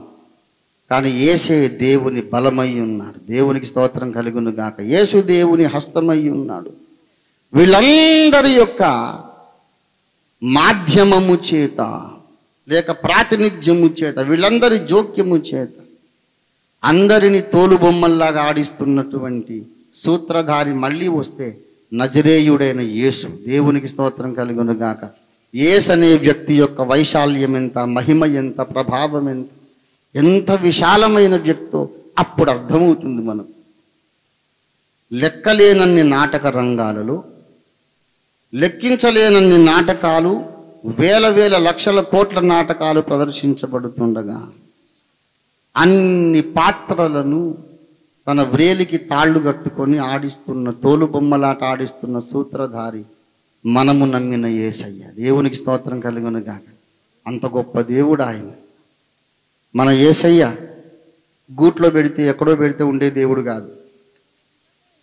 సర్వ విశ్వమును తన పొట్టలో ఇముడ్చుకున్న దేవుడు ఏసయ్య. దేవునికి స్తోత్రం కలుగును గాక. ఆయన విశ్వంభరుడు విశ్వనాథుడు. ఆయన విశ్వములో తన్ను తాను వ్యక్తపరుచుకుంటున్నాడు. యేసునాథుడు కులము తక్కువ దేవుడు కాదు.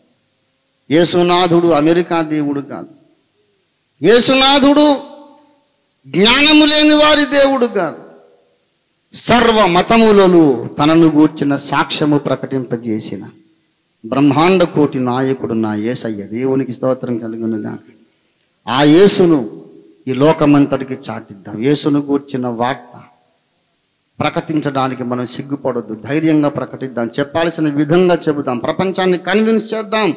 ప్రపంచంలో సత్యాన్వేషకులందరినీ సత్యమయ్యుని యేసు దగ్గరికి నడిపిద్దాం. దేవుడు మనకు సహాయం చేయనుగాక ప్రార్థన చేసుకుందాం.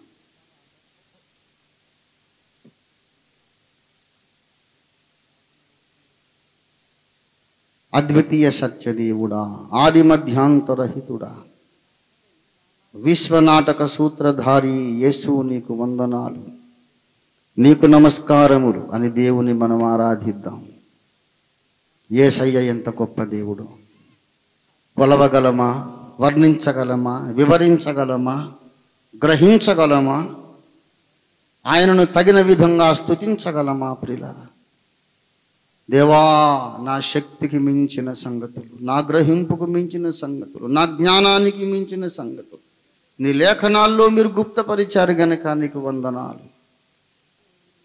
ప్రభువా ఈ విశ్వమునంతా నీవు ఏలుచున్న విధానము అమోఘమైనది అపూర్వమైనది అద్భుతమైనది నీకు వందనాలని చెప్తాం. మన చేతులెత్తి ఆ విశ్వనాథుణ్ణి కీర్తిద్దాం స్తోత్రిద్దాం ఆరాధిద్దాం. హల్లెలూయ హల్లెలూయ హల్లెలూయ. ఎంత అద్భుతంగా విశ్వాన్ని ఏలుతున్నావు ఎంత అద్భుతంగా ప్రార్థన అనే పద్ధతి నియమించావు ఎంత అద్భుతంగా సాతాన వ్యూహానికి ప్రతివ్యూహము చేశావు. ఆశ్చర్యకరుడవు నాయన అర్థము కాని దేవుడవు నాయన మా జ్ఞానానికి మించిన దేవుడవు తండ్రి. నీవు నాకు దొరికావు కనుక నీకు వందనాలు. మిమ్మల్ని మీరు నాకు బయలుపరుచుకున్నందుకు నీకు వందనాలని చెప్పుదాం. ఓ ఇది స్థుతి సమయం ఇది ఆరాధన సమయం. హల్లెలూయ హల్లెలూయ హల్లెలూయ హల్లెలూయ హల్లెలూయ హల్లెలూయ హల్లెలూయ హల్లెలూయ. దేవానికి వందనాలు వందనాలు. మార్పు చెందని దేవానికి వందనాలు. అద్భుతాశ్చర్యకరుడానికి వందనాలు వందనాలు వందనాలు వందనాలు. హల్లెలూయ హల్లెలూయ హల్లెలూయ. భారతదేశంలో నన్ను పుట్టించినందుకు నీకు వందనాలని కూడా చెబుదాం. భారతీయులమైన మనకు బైబిల్ అర్థమైనట్లుగా ఇతర దేశస్తులకు అర్థం కాదు. బైబిల్ అర్థం కావాలి అంటే భారతీయ సనాతన గ్రంథాలతో కాస్తైనా పరిచయం ఉండాలి. ఉంటేనే బైబిల్ అర్థమవుతుంది. ఆకాశము కన్న విశాలమైన దేవా అనేక వందనాలు. మా చిన్న మెదడు సరిపోదయ్యా. మా చిన్న మస్తిష్కం మానవ. మట్టి మస్తిష్కం సరిపోదు నాయన. నిన్ను అర్థం చేసుకోలేక నీ వాక్యానికి నీ దివ్య వాక్యానికి మేము ఏదేదో మాకు తోచిన భాష్యాలు వ్యాఖ్యానాలు చెప్పుకొని తప్పుడు ఆలోచనలతో తప్పుడు అభిప్రాయాలతో మేము అనుకున్నది జరగలేదని నిన్నెన్నోసార్లు దూషించాం. దయచేసి క్షమించు నాయన. నీవెంతో గొప్ప దేవుడవు. పెద్ద మనసుతో మమ్మల్ని క్షమించండి నాయన. మాకేమీ తెలియదు. మా సొంత జీవితాన్నే మేము చక్కబెట్టుకోలేం. మా సొంత బ్రతుకునే మేము నిర్వహించుకోలేం. మా ఇంటిని మా ఒంటిని మేము కాపాడుకోలేం నాయన. నీవు విశ్వమంతటిని నీ మహత్తు గల మాట చేత సకల బ్రహ్మాండము నిర్వహిస్తున్నావు. ఎంత సంపూర్ణుడవు ఎంత పరిపూర్ణుడవు ఎంత పరిశుద్ధుడవు ఎంత సర్వజ్ఞుడవు ఎంత లోపరహితుడవు ఎంత మహోన్నతుడవు నాయన ఊహాతీతమైన దేవుడవు. ఒక మనిషిలాగా మా మధ్యలో ప్రత్యక్షమయ్యావు. మనిషి మనిషితో మాట్లాడినట్టు మీరు మాతో మాట్లాడుతున్నారు నిన్ను మేము అర్థం చేసుకోవడానికి. ఈ తరములో మమ్మను ప్రత్యేకంగా నీవు ముందే ఏర్పాటు చేసుకొని నీ వ్యక్తిత్వాన్ని గూర్చిన ఛాయలు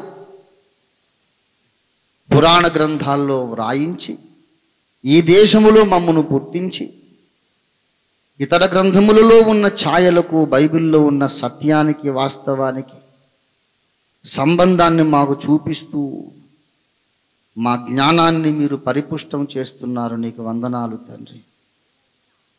ఇక మమ్మను సాతానేమీ చేయలేడు నీకు స్తోత్రాలు.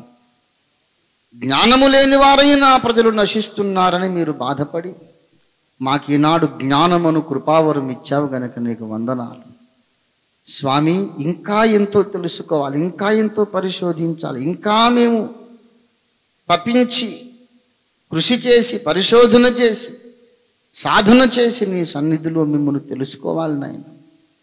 నిన్ను తెలుసుకోవడమే మా జీవిత పరమార్థం.